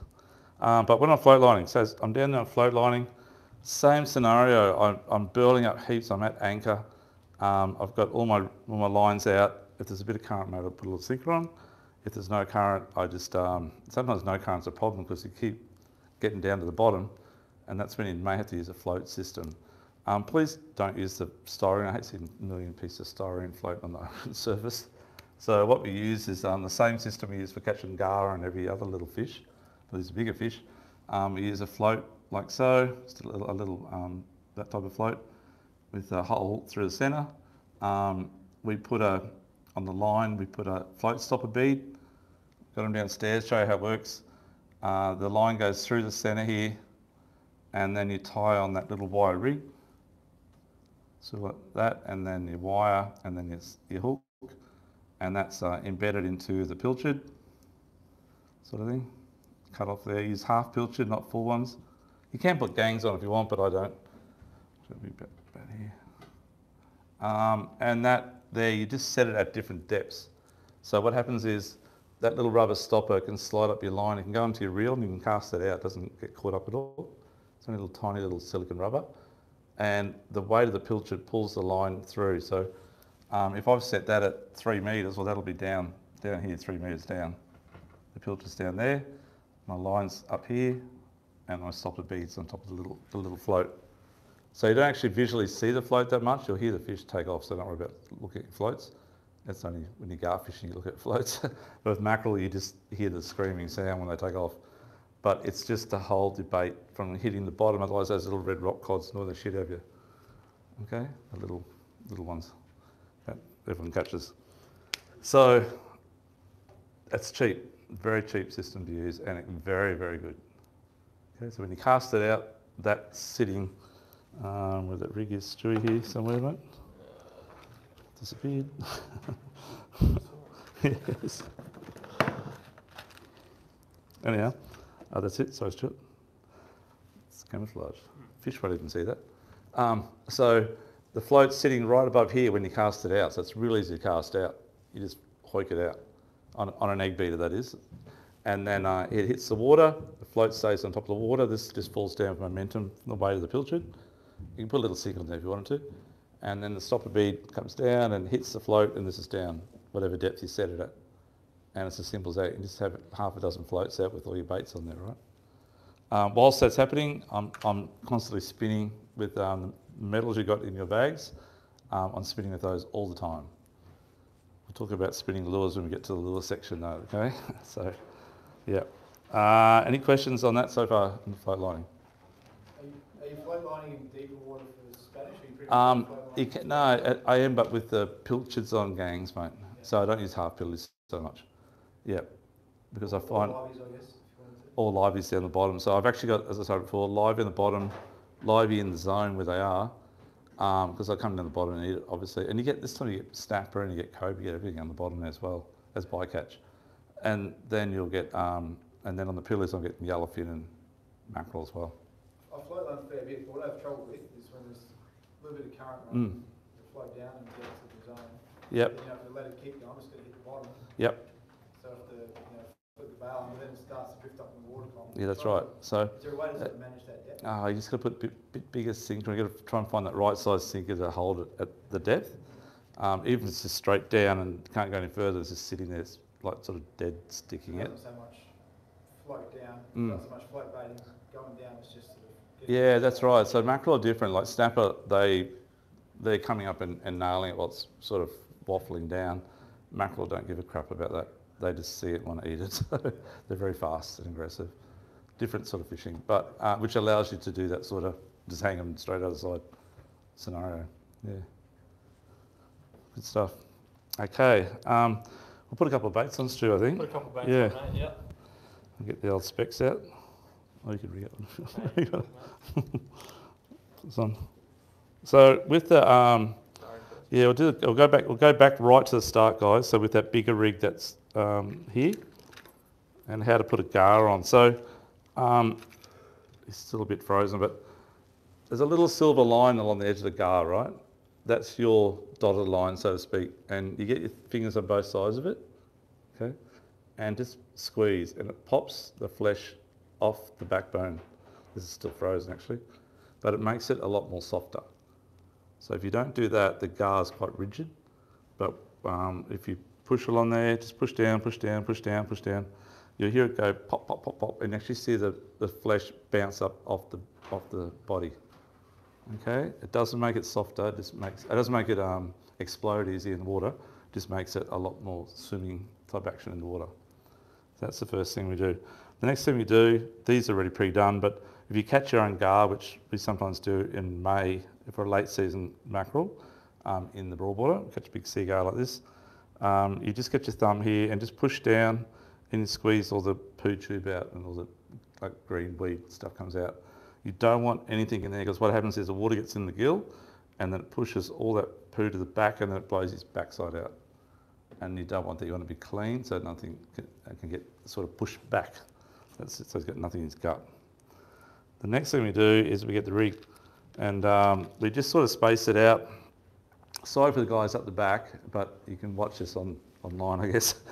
Uh, but you measure out so that hook, that little spike there is going to go in under here and out the top part of his head. Okay, so like so.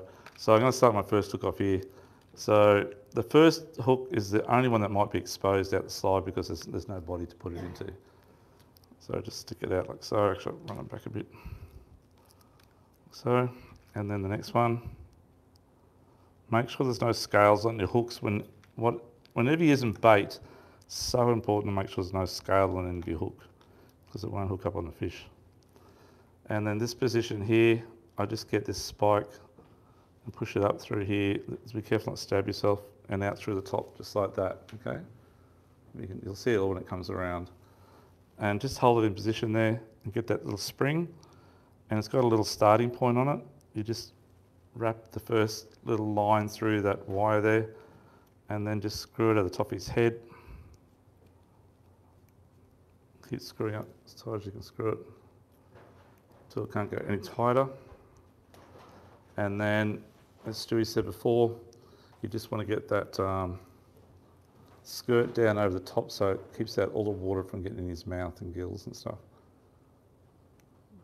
Just trying to get his legs caught up if you can help it.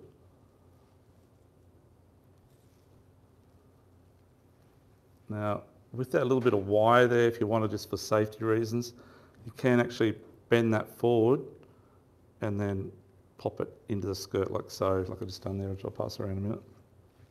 And it's happy days. Um, there's a couple of legs out there. I got caught up when I did that. When you put the bait in the water, it's really important you don't just throw it in the water. Lower it in nice and gently, gently, and uh, you'll see the. Oh, sorry, I popped that out wrong. go. That'll be right. So just like so, and that's it. And when you put that in the water, um, that I've actually got on that video that you see and it comes out in the weekend. You actually see the gar doing that through the water. That's how it swims, and you're pulling along like that sort of thing. And they just love. They really do like gar. It's my, probably my number one dead bait fish, more than slimies. Uh, I don't know if it's the smell or what it is about it, but they just like it a lot. Thanks, Stu. Um, the next one we'll do is a pilly on the pilly rig. So same scenario. So this is your pilly rig here. Um, again, you just measure it out. The pilchards at the moment are fairly decent size, which I really like. So it's really good. Uh, just measure it out so that goes through just in front of his eyes, sort of thing. First one's going to start off roughly about there. So that's where I'm going to put it in. Like so. My dad, my dad used to put his pilchers on upside down. He'd do it through the top. And I know back in the day, back in the 80s, that was like the popular thing. Everyone did it through the top. I've always liked to do it from underneath. It's just personal preference. Same scenario. Oops.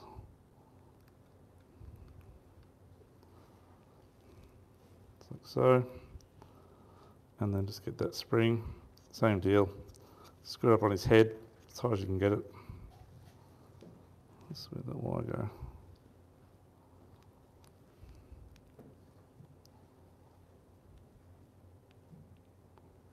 Just hold the wire there with your hand. Oh, sharp. This wire's a bit short. So when you make the wires, don't make them too long, don't make them too short. Otherwise it doesn't quite, um, it'll be too long on the, on the fish or too short like now it keeps popping off. But that's sort of the case. The pillies don't swim at all, it's just, they just work. I don't know what it is. Pretty plain Jane, but that works well. Um, I just want, if you don't mind, Stuart, to put. Do you want that on that? Uh, oh yeah, good idea. Yep. Okay, so this is a live slimy we've got here, but it's not very live at the moment. But imagine it's a live slimy. Um, so slimies die really quick in your live well. Um, if you don't have a live well, you will need to get yourself like an air aerator or something like that. Okay, in a big 20 litre bucket or whatever you got. Get a screw-on lid so it doesn't splash later on because when the water gets out and there's not much water there, there's less oxygen, they die quicker. You want to contain the water in, that, in whatever you got. Um, and so you know in your bait tanks, you'll get your bait, then you'll, particularly if you're going out wide for the day, you get out there and it's like this much water in the bottom of your bait tank and they're all dead. They need to have water. So try and hold the water in the tank as much as you can. So screw lid's really good. Just drill a hole in it, drop your air hose in through the hole. Um, but that'll work better than nothing if you've got nothing, if you don't have a live bait tank that's plumbed up with an aerator or, or pump. And they like them round, They're round. round tanks. So cool. I know it's a bit of a stupid thing, but a lot of bait tanks are square, and the slimy in particular always just jam their nose in a corner and just drown. They just die.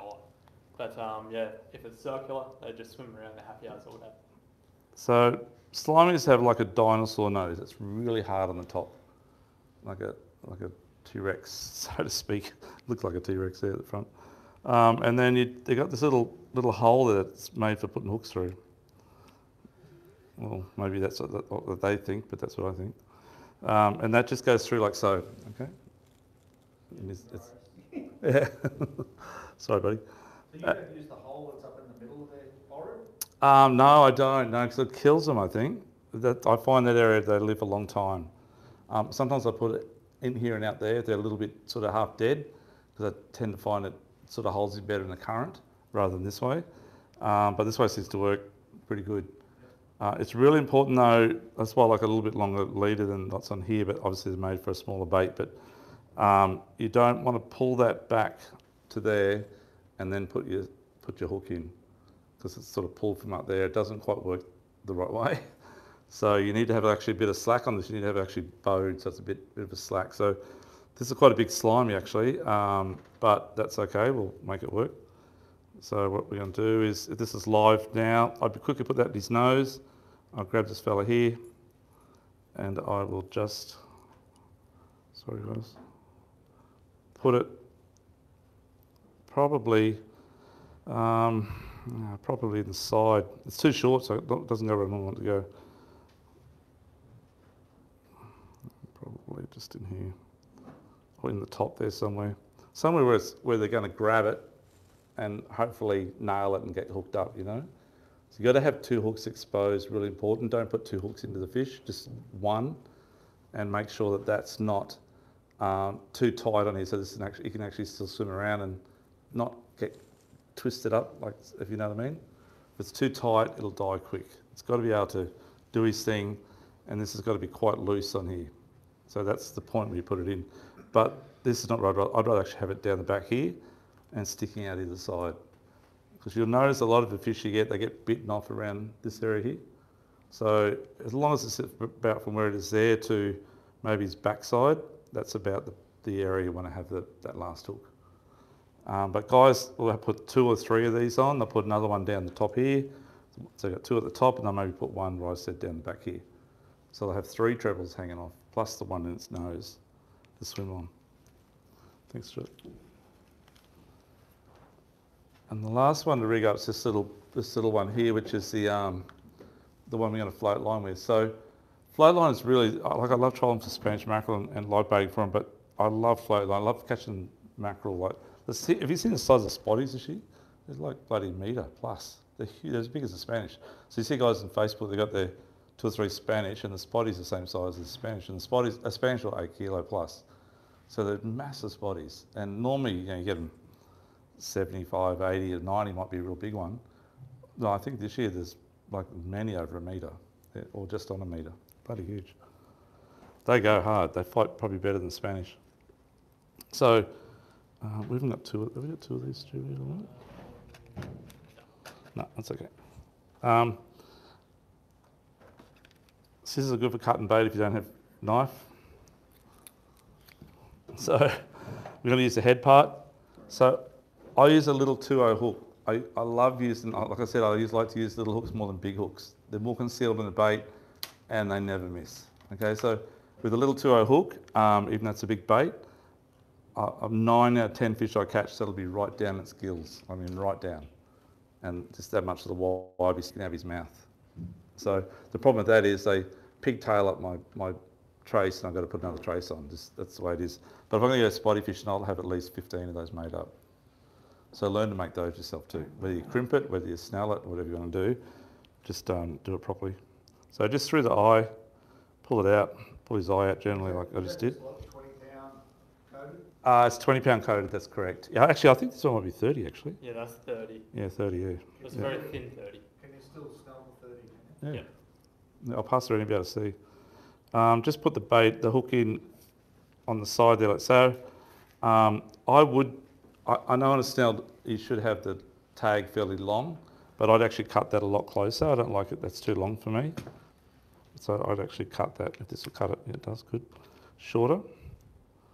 And, uh, and that's just how it is. So um, as long as the current's not beaming, um, which it may then twist that in the current, and do that in the water, which you don't want it to do. If it does any twisting, that I don't know about it. It's got to sit in there naturally as you can do it. So how do we stop that from twisting? Um, has anyone ever used this stuff, bait mate? Fantastic stuff. So it looks a bit unsightly on the fish now, but when it gets all wet, you don't see it. So you just wrap it round and round, and round and round. Oops, sorry. Obviously it's tied to your lines, that's a lot easier now. But you can actually bring that trace up pretty tight on his nose there. It's going over the, over the stuff, which we'll have to give that away tonight. Comes flavoured. And then you just break it off like so. Pop it off like that. And it doesn't come undone, okay? But it keeps that all in line. Does that make sense? So what is it, just like cotton? It's like elasticized cotton. Yeah. It's cheap as like, I don't know, just five bucks or something. Last year, whole season. Um, but it's just such a great thing. And when it's in the water, it actually goes like a purple colour, the bait colour. You don't actually see it. It doesn't. You don't see it at all. And um, it definitely keeps it all intact. And I just find it works really good for, especially if I don't use it much if I haven't got much current. I won't use it because I don't need to. It just sits there. But when there's current, I definitely use it just to hold it uh, straight on the bait, so to speak. Thanks, Stuart. And the tail one, when you're using the tail section, it's the same scenario. I've only got the one rig here, sorry guys, but through the through here, out the other side, try not to break the skin either side of it. Pop the the hook into there. When you do the bait mate, you hold the line up here on the end up here on the tail and actually wrap the bait mate right up to the tail there and come back down again, snap it off, and the line straight out through the middle there. It's per- perfect in the water. And I see guys, you anchor next to them, they're not getting anything, but you look at with your polarizer on, you can see their bait spinning, and it just doesn't work. They don't like it. So you can't have any twisting. Yeah, really important. Uh, any questions on that at all, guys? No? Okay. Good. Um, okay. I think that's nearly it on the baits. Yeah, any, is there any question on baits at all? Yes, sir. Quite often you'll see the blocks of pilchards. Yes. Okay. Um, all the pieces. yeah.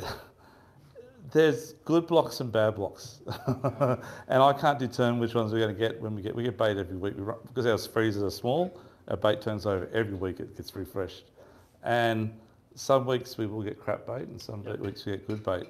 Whereas and- you buy smaller bags. Yeah, you buy the two kilo, or you get two kilo boxes IQF, which is the same as the blocks. They're only they're a few bucks dearer, but the quality is really good. IQF.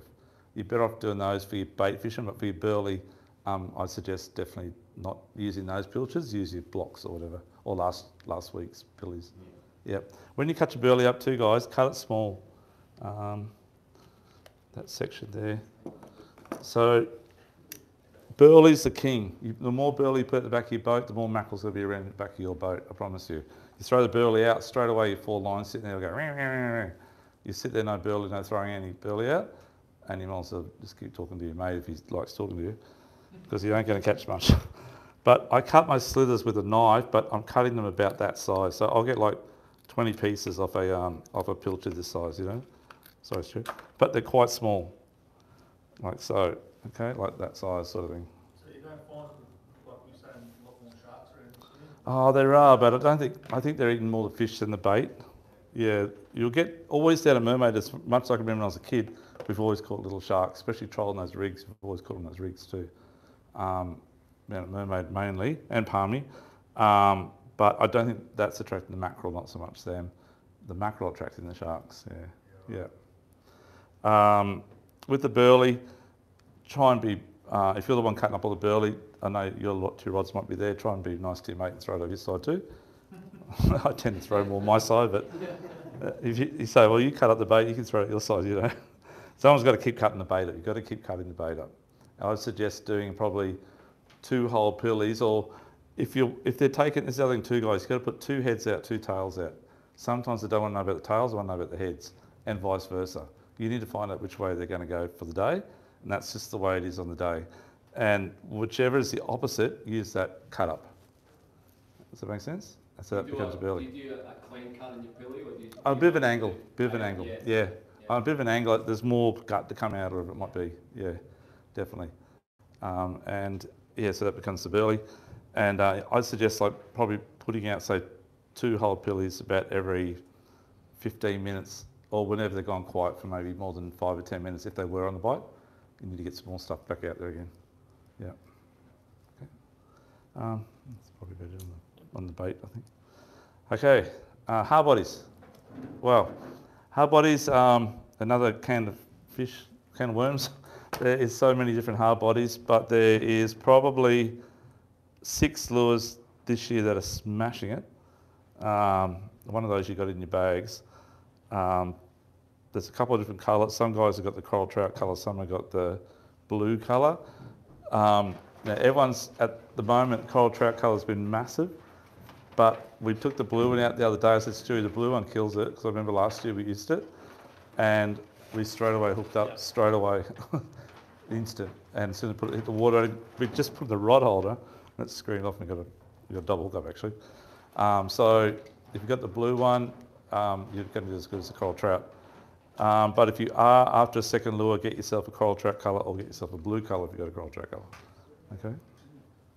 Um, brand wise, this year, the ones that have been doing really well for us, and I, like the other day, my mate I went with Jace, he loves Halco. And um, at the start, he had two Halcos out, and I had a Samaki and a Strata. The Strata's the one you got there. Um, and I think that was the day we got seven strikes that afternoon, eight strikes, um, hits, and um, before we landed four fish. We dropped one beside the boat. One nearly spilled us, and one other line crossed and got um, lost, and another one bit off. Anyhow, um, we after the, the double hookup, then a double hookup or triple hookup, I can't remember. Um, one of the Halcos come off. He kept his red and white one on, and uh, I think he put a Samaki on. And then we got a triple hookup, and the Halco, we never got a hit on the Halco the whole day. Went out again the next day. We've used Halco. I wouldn't use Halco. We used No. um, Strata and, and Samaki and triple hookup, double hookup. so um, I don't know um, what your favourite are. We sell Halcos downstairs. Don't get me wrong, um, but they just don't get deep enough this year. That's what I believe. They're not getting deep enough. Um, you need that really big fat bib on the front, and it needs to get down around 10 or 12 metres. Six or eight's not going to really cut the grade that good. You'll get fish on it, but you won't get as many. Using braid will get down deeper, like we talked about before. Using a lighter lead will get down deeper again. You use a downrigger? Yeah, you can use a downrigger. Problem is you can't use a deep diver on a downrigger. It tends to want to keep snapping the band. There's too much weight on it, mate. Yeah, so you've got to use a, um, a shallow bib lure. Yeah. Mm. The other thing too is you're trolling at six knots, um, and at that speed the ball's fairly out there too. so you might as well using deep divers. Um, but guys, just a few little pointers is uh, when you're dropping your lures out, really important to understand the placement of your lures behind your boat. So again, I'm coming up to that scenario. I'm coming up to my uh, plotter we had before, and I've got my marks on there. and I know exactly where I'm going to start dropping my lures out. And um, behind my boat, this is my boat here.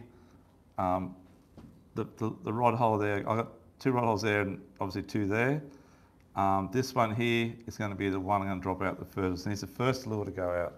So I'll drop that one back 60 metres, okay? Um, then I'll drop this guy here out and I'll drop him out about 45 metres or 50 metres maybe. How do I know how far out it is? Because I use coloured, lo- coloured braid. so I just drop it back six colours or five colours, it's easy as. Okay? And then this guy here, about 40 metres, and this guy here, about 30 metres. Um, when you start trawling and they start diving down, this guy will come back to about here, this guy will come back to about here, this guy come back to about here, and this guy come, looks like it's going to be at the back of your boat because they're down deep. So um, when you're using deep divers, you got a lot less chance, I said before, when you're trolling baits, unless you're using downriggers, they're, they're way out the back here, so it's really difficult trawling around at speed with people coming behind you with baits, but with lures, they're just there. They're, they're, it's pretty hard to get a lure chopped off unless you dropped it out 100 metres at the start or 120 metres too far. You don't need to go that far. Sorry again, what speed were you using Uh, six to seven knots. And the perfect speed, the last couple of times it's been, if you can get it, 6.3 to 6.8. if I go under that, I don't get much. And I go over that, I don't get much. Um, but it's hard to go down a swell, you know, pick up 7.4 and then you come up swells like doing 5.6. You can't get it right, but when you do do that turn, it comes back whatever way it might be, that's perfect scenario, you can get it right for a little while. Um, the thing is, you've got those out there. Now, when you set your drag, um, we might just pull that line off this, Stu, if you don't mind, mate. When you set your drag, um, it's really important that you learn to, to feel the, where it should be right. Does that make sense? Rather than sitting at a scale and trying to measure it and that sort of stuff. It's different for game fishing and using light line and setting it for drags, whatever. Um, thanks, Stu. Was it tight, man? Yeah, so, um, so Stu's probably got it about right there, I think. So it's, yeah, probably just a tiny bit tighter, but you just push the lever up a bit, whichever. Um, but you want to be able to grab it on, say, using, a, I wouldn't use under 50 pound braid because the, the shock's too aggressive on it and it'll snap it. Uh, 50 and above up to 80 is fine. 80 pound braid's thinner than 30 pound mono, so it's pretty thin. Okay. Uh, if you're using mono, I wouldn't be using much above 30 pound mono or maybe in that brand 50 pound, but that would be the maximum. But I try on my 8 kilo outfits too. But you just grab it and um, it should be set so it's like a, it's quite a firm pull. You are going to feel this later and you get understand what we're talking. We'll take it downstairs. You're going to play with it, but that's about the setting. We won't change that now, um, and that's about where it should be on. So if it's quite easy, or if you're trolling lures and you go down a swell, and it gets a bit of speed up and it starts pulling off, it's way too light. When they hit it, it's not going to work. It's not going to hook up. Needs to be a bit tighter. But at the same time, if you get a hit and, it, and the rod goes like that, and you snap the line, it's too tight, obviously. So you need to get the happy medium and just, just to grab it and a, and a nice tight pull out. Okay, that's it. Perfect, Stuart. Well done. Yeah, that's Just it. a real quick one. If you do set drags on an overhead, always back it, the lever drag back to nothing first before adjusting that little dial. Um, just keeps everything. Yeah, it's been setting your lever drag to get it right setting. So if something want to adjust a bit, if it's not, if it's too loose, even go all the way forward and it's still quite loose, you need to drop it back, put it in free spool, hold the spool, and just um, turn that little preset button, like Stewie said, a little bit, and then do the same scenario again to get it right. Um, when you drop the lure out, leave the ratchet on. Okay, it's good to have the ratchet on when you drop it out, but when you get hook a fish up, try to remember to turn it off so your mates don't get upset. Um, but yeah, well, the video doesn't work out too good. Ours are always on. but uh, so uh, when you put the ratchet on and it's dropping out, it just doesn't overrun. You don't get into dramas. If you go to thread line, um, I, and when you're dropping out even a, like a reel like that, um, I always point the rod at the lure. If you're trying to hold up like that, it, it's hard to get it going. It doesn't want to dig in. You want the lure to put it in the water and straight away dig in and pull, start pulling the line off the reel. Does that make sense? Okay. And then you've dropped it back to the right depth and you've got the ratchet on and you put it in. Make sure your rod locks into the pin on your rod holder, whether it be a ski, jet ski or a rod boat, it has to lock into that pin. If you don't have a, um, a, a gimbal on the end of your rod, just make sure it's, it's sound, like it's tight in there, it doesn't get ripped out of the boat. Really important. I don't mind selling you guys rods and reels, but you don't want to lose it. You can buy like a safety ladder. Yeah. I think the Shimano one's are about three meters, ten foot. About, yeah, quite long, Yeah. yeah. And just clip them on above the reel, not below it. Yeah. Otherwise slip off. But um, they're really handy. And if you've got a spin rod, Shimano do make a little, uh, a little brace. Put them down there, I think. Yeah. It's just like a little, um, a little crossover thing with two rings on it, and you slide it over the rod uh, above the reel. So you put, put, take the reel off, put that on, then put your reel back on, and then it sits in front of the reel, and then you just hook the safety harness onto the top of it. They're really good for beater. So that jig type outfit there, um, can trawl with, um, it has nothing on it. It's just a, a smooth bottom. So um, I'd be setting the drag on that a little bit lighter than my overhead, so it doesn't get ripped out of the boat. Um, but at the same time, most of your rod holders, just the, the, the leverage on it, it works well. Does anyone use the side roll, rod trollers at all? The ones that sit flat? So they're really good to get your lines out a bit further and away from everyone else. Um, the other rods, sorry. Um, the problem is they're a little bit hard to get the rod out when you get the fish on because they're, they're sideways. So you've got to sort of pull it forward and then hook the fish up at the same time. Um, the secret with that would be, as with any of your, of your lines, as I, as I say, leave it in the rod holder and then slow the boat down to two knots and then grab it out. So the momentum and the weight of the boat going forward is, is enough to hold the fish on the, on the line, it won't pop off. You can get spooled though if you take too long, but it won't come off. Um, the, I always rip into my fish, so when I get it out of the rod and sit it in two knots, I give it a big yank and just really make sure that those hooks are in. That if it comes off, it's going to come off anyhow. So I just really drive it home um, and then play the fish in.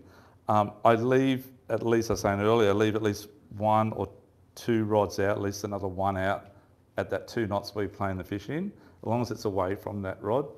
And just that last week, I think we caught two more fish that were hooked up while we were playing the fish in.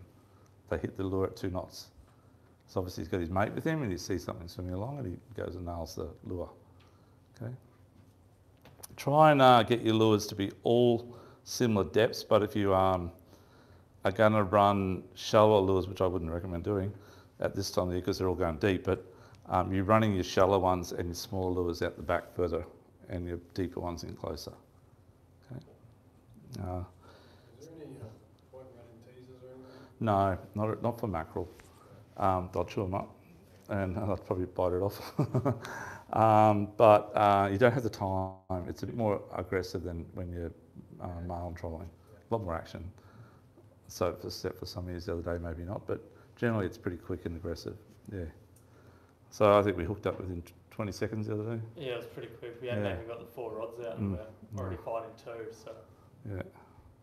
So, uh, if I can suggest something else as well, um, when you're trawling, you might have your spots on your plotter that you normally go to, but if there's a like 60 boats in that one area and they're all hounding on top of your where you normally go, I would suggest if you've got a mark up here or down over there that's in a similar depth, head over there because the mackerel are everywhere. Like we've got customers getting up, up at the pin, halfway down Straddie, uh, down at Burleigh, Q1, they're getting mackerel everywhere. They're not necessarily just there, but it is the um, it's the lucky hole. yeah, it's a, it's a It's a- general It's yeah, spot. you yeah. If you if you had a um, no other boats around, it guaranteed that spot that has it. That makes sense. But the other spot you may not be. But when you've got 60 boats here, you're probably get more fish away from them, which is what we've been doing. So we haven't been going. We, we might trawl through them and maybe get a fish. But if if there's um, um, too many boats there, I'm out of that. I'm out of that area, and I'm looking in my other areas that I might have that I normally snap a fish, and the, the mackerel are schooled up there. Okay. The mackerel care about current lines too much? No, not too much, mate. No, they they like clear water, and that's what I said. If it gets dirty, at least they're down deep this year. Know, they're on top. Unfortunate part is the spotties. They like the top, so they may not be around too much. Um, but the uh, Spanish mackerel, no, they they don't really care. Yeah, the water temp the other day when I went out on the Thursday morning was 25.6, and Thursday afternoon we got those strikes. It was 26.5 actually. Had it it was more, I know it was a bite time that made it work that afternoon, not the bit of a spike in the water temp. But there's a lot of wahoo mixed in with, I was saying, saying earlier.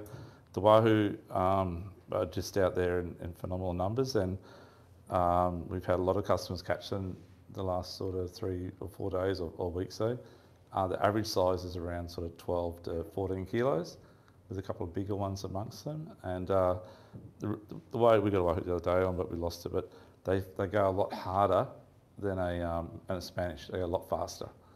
So it's really screaming out, like really screaming out. And um, Julian, oh, you hooked one the other day too, mate, didn't you? Yeah, do, do you get the lure regularly on like diamond or do you? Yeah, have You do, but no, I've never seen them this early. Like, well, we get the odd one early, but not in the numbers that they are this year. Um, but uh, normally it's sort of late season, April, May, June. Um, but when I was up on the reef this year in uh, December, up between Airlie and Cairns, we done a trip up there for a week. There's so many wahoo. Like uh, as I said to you, it's, Mm. I said it's going to be a good wahoo season this year because I've never seen so many up there. So they're coming down now. But but more like the depth, do you have to go on like fifty? 60? Yeah, normally 50 metres. They're, they're on the outside edge of the 24s normally, um, but we've got guys getting them at the moment on the 18s. So I think someone got one down at Palmy there a couple of weeks ago too. So they're everywhere. Yeah, they're early. Well, it's going to be a good season, one of the two. But they like really clean water as well, and they are a bit more on the surface and down deep. So um, hopefully we don't get too much rain because it'll scare them. But they're only it's only early. It's early season, but just a long season, I think. And the mackerel this year are late, so it's all happening. Yeah. Um, so get back. Sorry. Sorry, with, uh, I've only got a small boat. Yes. Uh, Palmy Reef, like, yeah, what sort of depths are we looking there? Is that? Uh, about 20 metres, mate. 80, oh, it's about 12 metres on the north e- western corner. Yeah. Um, but yeah, 18, 16 to 18, 20 metres. That's still a good spot there.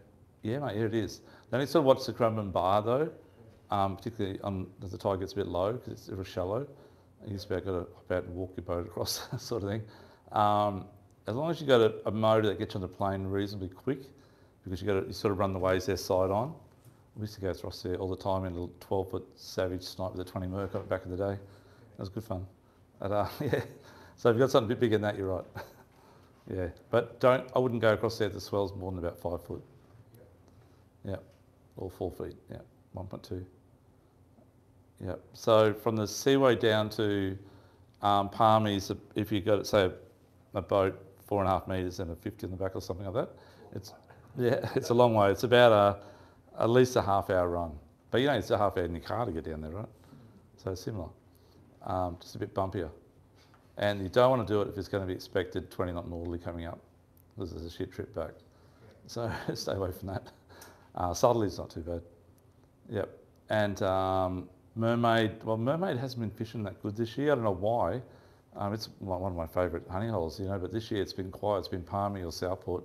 Gravel patch has been not too bad as well, and and further north. Yeah. So I don't know. Um, uh, getting back to the hard bodies, um, stick with really deep divers. Um, as I was saying before, like these guys say they get down about, they don't say what they get down, but I know they get down about 10, 12 metres. That's the strata. Um, the Samakis will tell us they get down Like eight to ten. 8 to 10, is this true? Mm. Oh yeah, eight to ten metres. But because we're running braid, that's that's on the worst case scenarios. That's running them in close and probably on 50 pound mono. But when you're running on braid, light leader, a bit further back, um, they get about half that depth again. So if they say 10, I'm talking 15. This guy's 10 to 12, but talking up to 18 metres. So they're getting right down there. And you see the angle, the line, it's way out there, but when it hooks in and you start driving at six knots, it goes like that. And the rod's really bending over, working really hard. Okay? What leader will run? Um, I, run, I tend to run around around 60 pound fluorocarbon, or 50 pound. Yeah, 50 is like the really perfect size to get it really swimming nicely, which I think you guys got. Everything's in the bags what I use. Yeah, you got 50 in there as well. So that's fluoro, yep, run about a metre and a half long, something like that. Yep. If you're running a braid straight to that with an braid, I'll probably run about three metres long, or two metres, just to give that bit of shock. Because uh, fluorocarbon doesn't have the same stretch as mono does. It's quite aggressive as well. So if you've got aggressive braid and aggressive short leader and that, uh, it's only the rod tip that'll move, or the fish's mouth when it gets, hook gets ripped out. So uh, you need to run a bit longer leader so there's a, a little bit of elasticity in it. Yeah. It's like three, four metres or something like Uh, three metres is good, yeah. Yeah, two to three minutes. Yeah, two minimum. Um, getting back to colours, as we talked about before, um, the two coral trout colours have been exceptionally good, which is those two colours there. That's Samaki and that's the um, the Strata. Um, Josh, who does the Samaki lures, um, he's been smashing, and a lot of other customers too, on that colour there, which is a blue mullet. I think it's called a pink mullet one too. It's got pink bottom, blue top. Um, and some of the live flight colours, like the red mullet, the slimy, and the yellowfin, have been really smacking them as well. I'll pass this few around. You can have a look. Thanks, Stu. Um, in the Rapalas, the Rapalas were doing really well as well, but you've got to go to 30 or to 40 because it needs to get down 30 or 40 feet. That's what it means in the, in the Rapala terminology in the X-Rap. Um, Colour-wise, this year, as I said before, it seems to be red and oranges that are doing really well. Um, they do the, the squid colour and the red mullet. Um, both these are, are really good. Trouble with the Rapalas, they're a little bit hexy in price, but they're a good lure. Eh? Although we got bitten, I took a mate out on Monday, and he just put his Rapala out straight away got bitten off, and my coral trout one got bitten off, and I was like, I felt vulnerable because I didn't have any more coral trout on stage.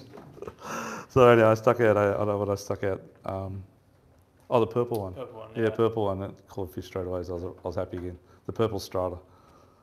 Um, so you just sort of every year um, it seems to be a little bit different, but for the last three or four years it's been orange. Orange has been the killer. Has anyone caught um, used orange much? Who's used orange the last few years? Okay. Uh, Did you catch many fish on the other colours you've been using, like blues or? No, Tend stick with the colours you know. they look natural. Yeah. Yeah. Yeah, but try orange, trust me. Orange or red. It's incredible. Yep. They all work and there's a trillion different colours. That's actually not, that's actually um, not a bad colour too. On there, it's green. Um, this like psychedelic colours I'd reckon they'd probably work too.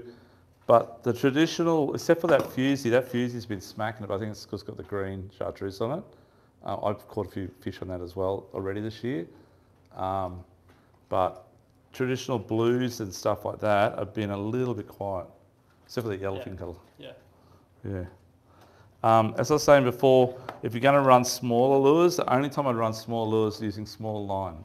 So it's the same scenario. If you're running, say, um, uh, let's just say that, that little egg beater there with 4,000 with 20 pound braid on it, and you're going to run maybe a, take a punt and put 30 pound um, leader on the front or 40 pound fluorocarbon, um, you'd probably get this little lure here which says it goes down to four to eight metres. Yeah, four to, or four to six, you'll probably get it down about 10 or 12 metres if you drop it back a bit, maybe six to 80 metres back. And it'll pull up to about probably 40 metres behind the boat, but it'll get right down there. So if you only got little rods, um, that's the scenario you want to run, something like that. Still got a big bib on it, um, and it'll get down deep. There's another new one too. I haven't tried this yet. You haven't tried this yet, Stu? No. So these are a cheaper version of Samaki, so to speak. They're called Fishcraft. Um, this fellow is meant to get down uh, 10 metres, which is pretty good. It's got a very similar bib to the Dira Samaki, but these are only like 15 bucks your price sort of thing, so they're cheap. Um, they do a really good range of colours. They do a mullet too, I think, um, somewhere downstairs. but uh, that one's um, like a cheaper lure alternative that would work all right, I think, and get down there. It'll probably get down around 10 or 15 metres. And there's an array of different lures, guys, eh, um, that'll work. Um, these trick baits, this is a, a lure that Shimano done a few years ago, the Japanese made. They're really beautiful lures. They do an array of different colours. Um, and we talk about like when it's blowing, say, 15 knots and on the way out to the reef, and you know it's mackerel time, and you get a chance to catch them mackerel as soon as you get outside the seaway, right? At this time of the year, all the way out to wherever you're going inside of 50 metres. So if you're doing like 15 knots and it's like bang, bang, bang, bang, you're better off putting the lure out the back at 15 knots. Okay, and you, you, you got to run it on about probably at least 50 pound though, because otherwise just the drag at that speed is quite aggressive when you get the hit. But Wahoo love it, okay? Wahoo love it the most. Spanish mackerel, I've caught up to 12 knots, I haven't caught them 15 knots, but Wahoo you will. Um, and other tuners as well. But that type of thing there are really good, as are some of the Halcos um, in the bibless type minnows. And if you've got a heavy type outfit like a, a 50 or pound or 30 pound mono or 50, 80 pound braid, you can run a big fella like that out the back. So how these work is you drop it back about 60 metres, quite a far, fair way back, and they just swim like that, really tight, um, about a metre below the surface. And they're doing 15 knots. So you need to set your drag fairly tight, otherwise it'll just keep pulling off with the pressure. But when that fish hits at that speed, um, by the time you slow down a bit, don't just stop it.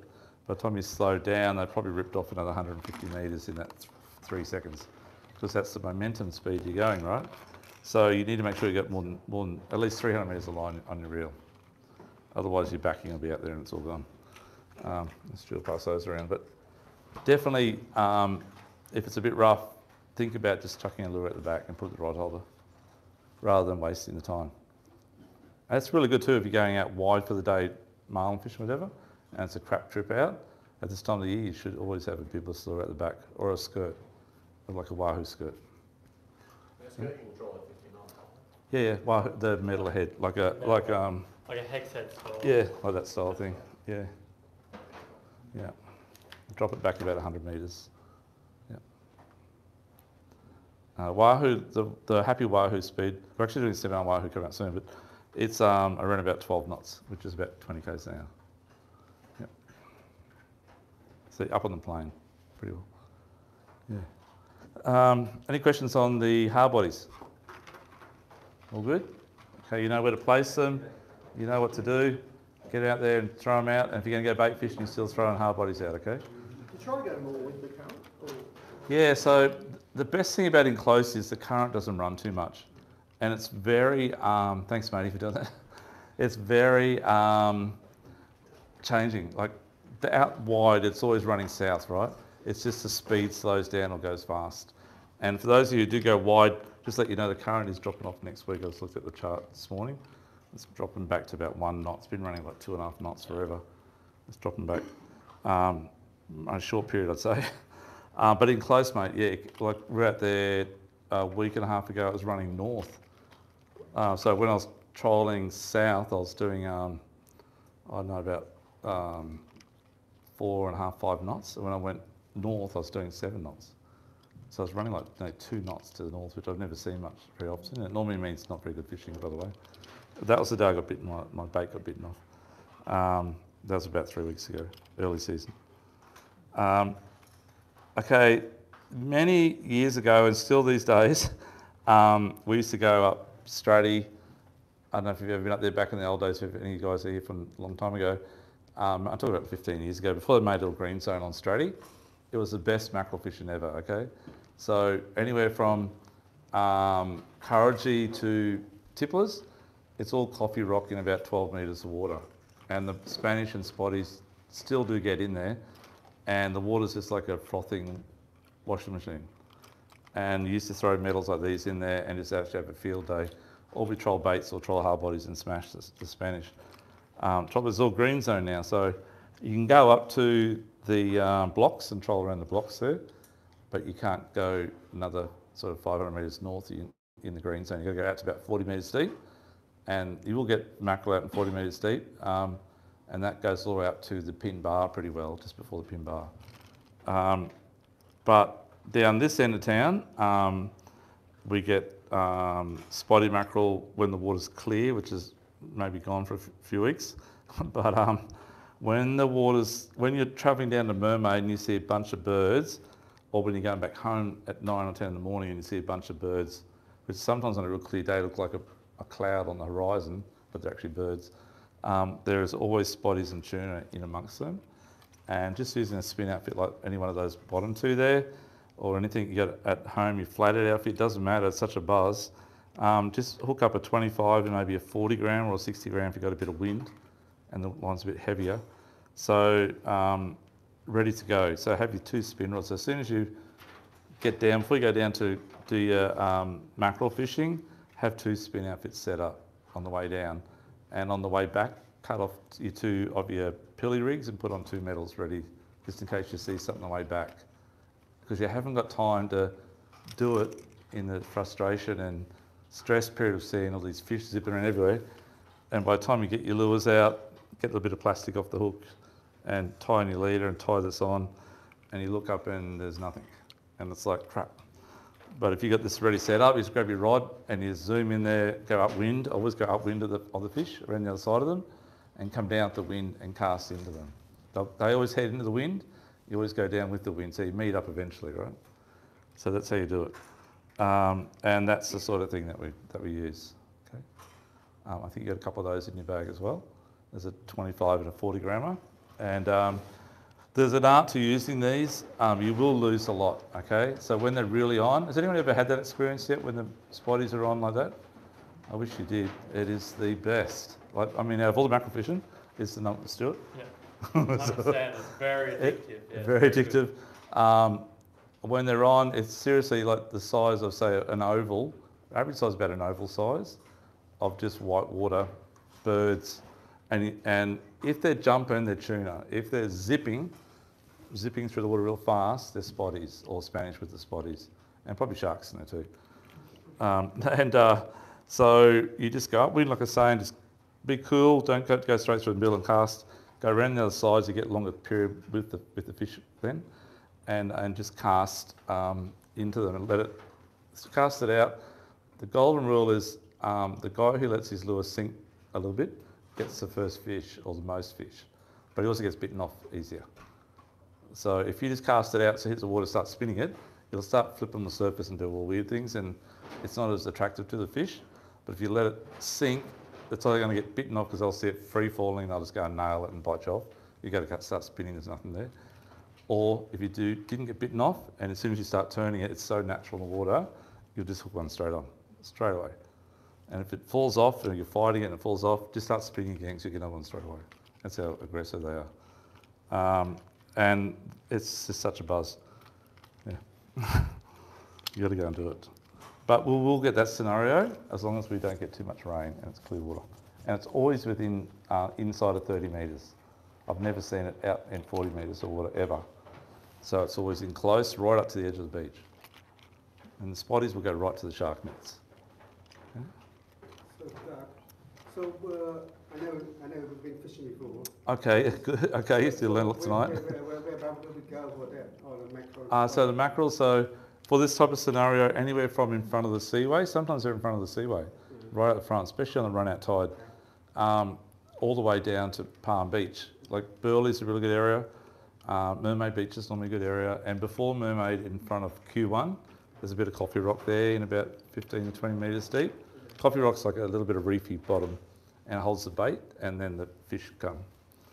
And you just look for the birds, birds diving. And then if you watch, um, what happens, the mackerel down deep, but when they get the bait to come to the top, that's when it all happens. That's when they go crazy. Yeah, Second question, uh, I only got uh, four point five, it's fine. Yeah. how am I gonna go to Palm Reef? to, uh, Uh, so Palm Beach Reef, um, to be honest with you, Palm Beach Reef is a really good spot, say in uh, December and early January, but it gets less fish now. The fish all happens up this area. So it always starts at Palm Beach Reef and then it progresses normally Mermaid and Southport. Southport always starts about February normally, it started earlier this year, um, and it goes right through to April, May, June. So just stay at the front here. You don't need to go to Palm Beach. Yeah, and too many boats, too many, too many cranky locals. so, but uh, if you got a day where the swells maybe less than a metre and the, not too windy, and you don't mind towing your boat down to Currumbin, try and get it when high tides maybe about eight or nine o'clock. So if you go out at this time of year, it's daylight at five thirty, whatever it is. So you go out say five o'clock, it's sort of ready, come in a couple of hours, so that it's deep enough normally to get over the bank. Uh, and you need to be able to see the waves because they break there. You have to go over the white water, so be very careful. Uh, and run alongside, don't go straight into it, go along, head north normally. And, um, and then when you come back in at nine o'clock, it's tides, high tide's just gone, it's not too bad. But if you got low tide at eight o'clock in the morning, uh, it's very terrible because um, you can get stuck out there. And if it comes up windy or stormy, you can't do anything. You can't come back in because it's too shallow. Yeah, so be careful to, to get the tide right. Speaking from experience from my younger days. um, we had to come in through Tallebudgera a couple of times and that was even worse, I think. Yeah. Um, but anyhow, so 25 to 60 grams. Um, my suggestion is if you're only running uh, 15 pound braid, it wouldn't run much lighter than 15 because a lot of fish you just won't get in or you get spooled because most of your little lines have only 150 metres of braid. So they'll take that out easy if, if it's a 8 kilo fish or something. So um, stick with 25 to maybe 35 on that size. Um, if you're running 20 pound braid, you can run 25 gram up to about 50 grams. If you run 20 pound braid. If you're running 30 pound braid, you can still run 25s, but up to 60. Okay, stick with that. Um, you saw that braid going around earlier, so you see the difference in the two thicknesses. So same deal on the casting. So um, if you're running a normal, uh, say 30 pound braid, you're going to see that stuff in 30, it's like 15. It is 15 actually. So 30 pound braid, um, it's quite thick, and if you want to cast a little 25 gram lure and a little bit of wind, whatever it might be, it's, it's not going to get the distance very well. You need to get distance when you're doing this sort of thing. Um, but if you've got the 30 pound braid in the thin 15 pound diameter, it's going to just hoik it out there, you know, so far, double the distance. Yeah. When you're spinning two, um, so as I said, count one, two, three, four, five, go. Start spinning and start spinning quite fast and then just stop. As soon as you feel it coming to the top, just stop for like half a second, so like that, then wind again, like stop, just like that. Just that little pause is when they nail it every time. Okay, if you just do a constant one, you'll still get fish, but you won't get as many. So try that trick if you can, but it's quite hard, as Stu knows. Yeah. It's quite uh, frust- uh, not frustrating. It's like excitement and uh, and because it's you see them chasing after they're crashing. It's very hard to actually pause because you know you get nailed or bitten off. Or Yeah, you don't want to stop, but you should. yeah, you should mm. make make yourself stop. Quite hard. Okay, rod holders, um, twiddle tools.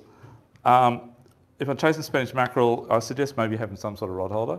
It is a bit hard on you if you've got more than one fish. By the time you get the third fish in, it's um, you're a bit sore. Um, the tools, okay, they have really sharp teeth, guys, and the mackerel this year are really slimy. For those of you who caught one this year, you'll know how slimy they are. They're really slimy. So it hits the deck, you gaffed it, you pull it in the boat. I'll talk about gaffing in a moment, but you pull it in the boat, and then um, they uh, hit the deck, and the floor, like you just walk past where it was, and you just fall on your ass. It's really slippery. So um, you need to do the right thing, which is not to get it on the floor if you can help it. It's pretty hard. But when you got two or triple, or like two or three fish hook up, they have to go on the floor or straight to a bag or something because you've got to get the gaff for the next fish. That's it's, your mate's saying, hurry up. So um, with the gaffing, uh, we've got a gaff history right here, mate. There's one here, yeah. So um, there's a couple of tricks. If your mate's at the back of the boat here, that's the transom, that's the side of the boat, and he's playing the fish and the finding of the fish is getting up close, first thing you have to do is when, when it's within sight, is just back the drag back. If you've got a lever drag just a little tiny bit, or if you've got a star drag, just maybe a half a turn. Just enough so if it wants to take off under the boat or around the motor, it can do it without pulling your rod into the motor or without um, snapping the line under the boat. It needs to be able to pull the line off the reel. That's the first case of stopping you from losing a fish. Second thing is get your mate that's got the fish on the rod, get him to, to work his way up to the front or the middle of the boat a little bit, up towards the, where the steering wheel is, and you come in behind him where he was standing, and the fish is now there, and just gaff it, okay? When you gaff it, have your donger, I haven't got one here somewhere, we've downstairs, but have it close by. Um, when you gaff it, so I normally uh, leader it, use my right hand, gaff it, and then lift it into the boat straight away, and be very careful. Try and gaff it in the head part, because the head part you got more control, okay? If you gaff it in the middle, his head's snapping around, trying to bite you. And they're, they're very sharp teeth. I mean, like you just touch it and just slice it right open. So you got him in the head part, his head's here, it's whack, whack, whack in the head. Um, make sure that you don't hit the boat or hit your mate or hit your hand or whatever. Hit him in the head and then um, put him straight, if you can, then straight into a, either fish bag or a well or, or an esky or something, okay? And get ready for that next fish that your mate's got on, hopefully. Because that's going to do the same scenario. If you drop it on the floor, it'll get slippery. And then you start, it's there, it's very dangerous around your feet. And sometimes they're still a little bit alive and they will cut you, bite you, and you'll slip over and fall on top of it, whatever. So try not to get on the floor of the boat. If you do, you have to wash it off straight away with a, or wipe it down with a rag, whatever. It's really dangerous. So it's um, slippery. Julian, how'd you go getting it on the ski? Julian's on a ski that day. So if you see, see a guy paddling out the other day, it was Julian out. Did you get 18s or 24s, mate? 18 fathoms. So hand paddle out to the 18s, and you got a mackerel. I, I didn't have anything. I was actually right. and then I, I, I put the rod on and I couldn't. The, the fish was like, the tail was like away from me. Yeah.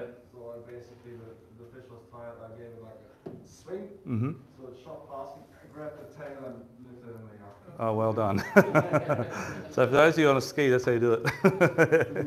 well done, matey. I was very proud of you because I know Julian's been trying to get him for a few years now, right? A couple of years. Oh no, just this season. Oh, this season was it? My goal this season. Oh, okay, right, okay. No, might be another guy. But anyway, well done.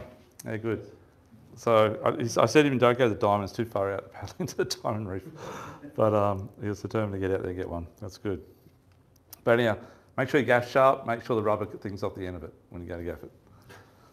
Um, so someone asked before about getting your line down. There's, there is another way called a planer board, which is this thing here. So this is what all the pro mackerel fishermen use up north. It's a, a board that's designed to get your lures down around. There's three sizes. Each size goes down like another 10 metres. So that size actually get it down like 30, 40 metres. It gets it right down, like probably know, dig in the bottom. But there's two problems with it. One is um, they get, sometimes they can bite this because it's quite flicky in the water, right? And they're biting anything at the moment because they're hungry. Um, the second thing is you've got to run your line off the back. You can have a trip, a trip line up there with a, um, like how we said before, with like a downrigger system, like a handrail or another rod, and you have a little piece of line at the end here, you put it right behind your line and hook it on and drop them both down together. So you drop this down while you're in neutral and your line goes down with it and then you put it in the gear and go forward, and then just the momentum will keep this down in the area, right? Uh, it won't come back to the top. It stays down there. Um, and as soon as you hook the fish up, um, it, it'll pop off the end of this, and you just have to sometimes to hand, wind up by hand, and then you um, play the fish in. The other way is you actually attach it to your lines, which they do up north, but that they're running like a cord uh, off the top of this ring here at the top, and they're running a, a very short wide trace at the back with their with their bait on it. As soon as you hook the fish, this flips over, and it has no drag on it in the water at all. You don't actually even know it's on the line. You're fighting the fish, but it, his mate can maybe bite it while it's on the line because it's, it's flicking around while he's the fish is fighting on your line. Okay, uh, you're using that with bait and not with lures. But there's three sizes. That's the biggest one. That's the small. So you're talking like 10, 20, 30. Actually, I think there's one in between these two. Anyhow, that one gets down at 30, 40 metres. Um, so that's an alternative to try, but there's an art to using them, and, and it does work really well once you know how to do it. Um, knives, make sure you've got a decent fillet knife for filleting mackerel. Their, their flesh is quite deep, as you know. Um, keep them on ice. They're really good eating. They're very white flesh. Um, they, I don't know how you guys cook your fish, but um, we had some last night. Um, it's the, the, I cut the fillet in half, or Stuart does the same too. Actually, Stuart filled something else the other day. and um, cut it in half, and obviously skin it, take the center bones out. And it's just this big, like a fillet, a rib fillet of, of the fish, uh, but the top section. And um, put it in like that sort of size into a fry pan. I don't know if you guys like, like um, two ways you do it. One is with uh, like just sweet and sour um, sauce. Uh, it, uh, no, sweet chili sauce, sorry, sweet chili sauce. Uh, and so you actually cook it in uh, butter, a bit of garlic and salt and pepper and just sear both sides until it's like half cooked both ways, just the middle raw. And at that point, then you put um, chili sauce over the top and turn your heat right down to, to a lot less. Put the lid on the fry pan and sort of baste it, if that makes sense, and then flip it over the other way so it gets sort of like a, uh, a, a, hard um, sweet chili sauce layer on both sides. But when you crack it open, it's just like super moist, and you pull the sauce out the top. Really nice. Do the same thing with balsamic vinegar. So you do the same thing rather than add the chili, add the balsamic vinegar at the last part and just let it simmer in at very low heat for about another five minutes and then turn it over. And it also puts a film on it hard. And when you crack it open, it's just white flakes, big white flakes. It's really nice. Rather than beer batter or whatever the normal thing you do. So how long do you keep it, uh, when you, when you put it in the, uh, put the lid on, how long do you? Uh, about five to ten minutes, just enough to really moist it up. Yeah, it's really good and low. So I'm, I'm on high heat for the first ten minutes. That's five minutes outside, five minutes outside, three minutes, three minutes, and then switch it around to like 20% power or 10% power, and put the lid on. Yeah, really good. Add, add the sauce at that point, and make sure you do both sides. Yeah, really good. Mackerel's beautiful to eat. It's simple as that. And they're such a, uh, a good yield because they're, they're a small head and they're big. so they're good yield. Spotty's even better. Do they freeze or? Yeah, they do freeze. So, uh, I, like, I'd highly recommend any fish to cryovac it, 100%. Yeah. So if you want a cryovac, get one. And that's with all fish. So, so good. And we're still eating fish from uh, the reef we caught last September, last, no, year before last. And it's still fantastic, you know. Yeah. Okay, um, I think that's about nearly it. Anything else to talk about, Stu? That's about it, I think, yeah. Yep. Oh, just a little thing. Bait net. Like, for those who are going to use live bait, um, you all know, how, like, a, half time I forget my bait net, or, or the kids have been playing with it and have lost it. It's not in the boat, and I'm like, crap. And you like chase them around the tank, chase around the tank, and it's like really hard. And then you get really mad, you start to grab them, and then they spike the crap out of you.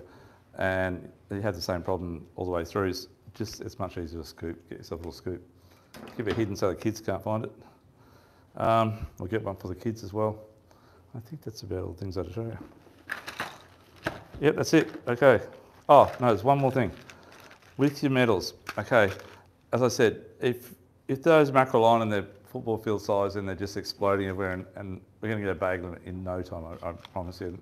Everyone in the boat's going to be hooked up. It's just that full on. And it happens, happened last year, happens every year. It really does happen up the pin bar, I didn't talk about that, but the pin bar, if you get a chance to go that way, which is about as far as going to Palm Beach, that way you go that way, about 20 k's jumping pin. but you go from it's a bit of a rough bar most times. So unless the swell is really small, you can get the broadboard and go out, but generally go from the seaway up, and um, it's about 20k run. Um, but if you can get the tide there, um, try and get low tide about four or five in the morning, probably about four o'clock. And you need the tide about two hours after low when the dirty water's pushed right back into the edge of just behind where it breaks. And what happens is you get that clean water and the dirty water as it's pushing into the, to the bar. And in that edge, all along that edge, it's in about know, probably 10 or 8 to 12 metres deep. You're outside behind where the waves are breaking. But it, it, I don't know where they come from. All these little like white bait just rock up and it's like two kilometres around the whole edge. And all the baits in there, and all the birds are in there, and all the spotty mackerel in there, and Spanish mackerel, and even caught wahoo in there at times. And um, it's a great place. You'll just see them, they'll just get the bait to the surface, and there's a big explosion on the surface, and, and it's all metals. And it's a really good thing. And the mackerel there at a customer today, has got some up there a couple of days ago. So they're there too. So sometimes it's worth taking the effort up to drive up there and have a look. Okay. Okay, um, but getting back to those metals, um, in a session, a solid session, uh, if you had three guys spinning, it'd be nothing to lose eight lures or 12 lures between you. You can have a safeguard, which is something like this little thing here. Um, these are titanium, so they don't ever kink. Um, they have a tiny little bit of stretch, and hopefully you don't snap it off. The only way you lose it really is if you um, cast incorrectly and snap your line, your braid or whatever. But they, um, they don't kink. No matter how hard I bend it, it just pops back out again. They're titanium. And the, the um, fittings on are really good too, but they're expensive. They're like around eight bucks a pop. But you won't lose your lure. It's very hard to bite titanium. Okay, I'll pass that around. Yeah, Julie? Uh?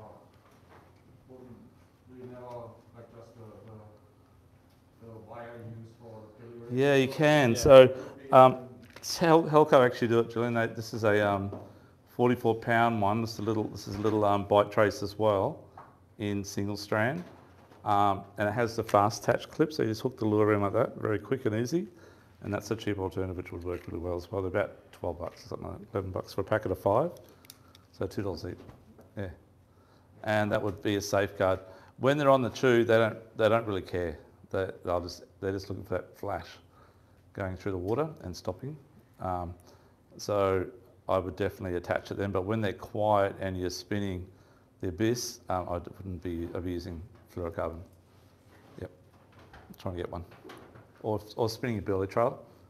Um, unless I'm getting constant hookups, uh, I would be using fluorocarbon. Get more bites. Uh, you can do that as well. They make a heavier version as well. They make a 30 kilo job, so for lure fishing as well. They are definitely like the, the bee's knees, yeah. And they're petite, so all they see is the lure swimming, you know. Yeah. I've heard that they, make whistling noise now, they can hear it or something like Uh, that. and wire that uh, it does a little bit. Um, I used to use wire years ago because I was a bit tired of my lures, but then I realised I wasn't getting many fish as some other guys, so I haven't used it for years. Uh, use somebody fishing shop. Yeah, that's right. I owned a fish shop back then too. but um, anyhow, it's um, it's much more um, advantageous to run fluorocarbon and lose the odd lure. Although in saying that, I've lost four or five lures this year. You know. Oh, it's after nine o'clock. Sorry, guys. Time goes quick. We're having fun. Okay. so, any questions at all? Any any more questions, my friend? Any questions at all, folks? I really appreciate you guys hanging back tonight. Really, really good. Um, we'll do the draw now. Time goes quick. Holy jeez. Okay, so tonight's draw, what we're going to do um, is we're going to draw out um, the prizes, six prizes, first to six, and then we're going to put all the numbers back in here, and we're going to draw out. Um, we're going to take a mate fishing for the morning. So one of you guys will win a trip out with Stu and me for a quick fish. That's random. I didn't tell. I didn't tell Stu about this. Yeah, exactly. Like, what's going on here? Yeah. So, We're going fishing, that's a good point. That just as a mate, so we're not, you don't, it's not a, it's just a, we'll give it to, to a mate. For, for um, insurance purposes, that's how it works. we don't know who you are, just come out for a trip. Um, so it'll be probably uh, maybe next Wednesday morning, because the weather looks good then, if you can get the Wednesday morning off. If you've got to work, like we've got to work too, so we'll probably be back in before eight o'clock. And we probably go out at five, and only one person can come. So sorry if you've got to make, but that's how it works. Okay, we'll put all the numbers back in at that time. Does that sound right, Stuart? Sounds good. Yeah.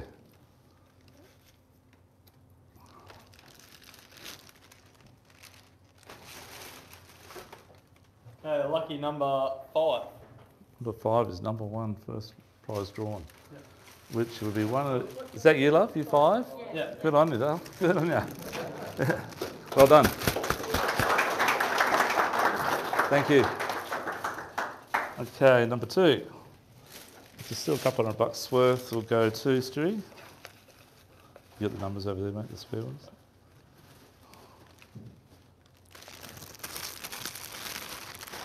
Number 11. Number 11, middle area. Yeah. well done, mate. Good on you. Thanks, mate. Okay, we'll go for number three, which is I think about 150 bucks worth or close to it. So it's about 900 bucks for the gear tonight at retail.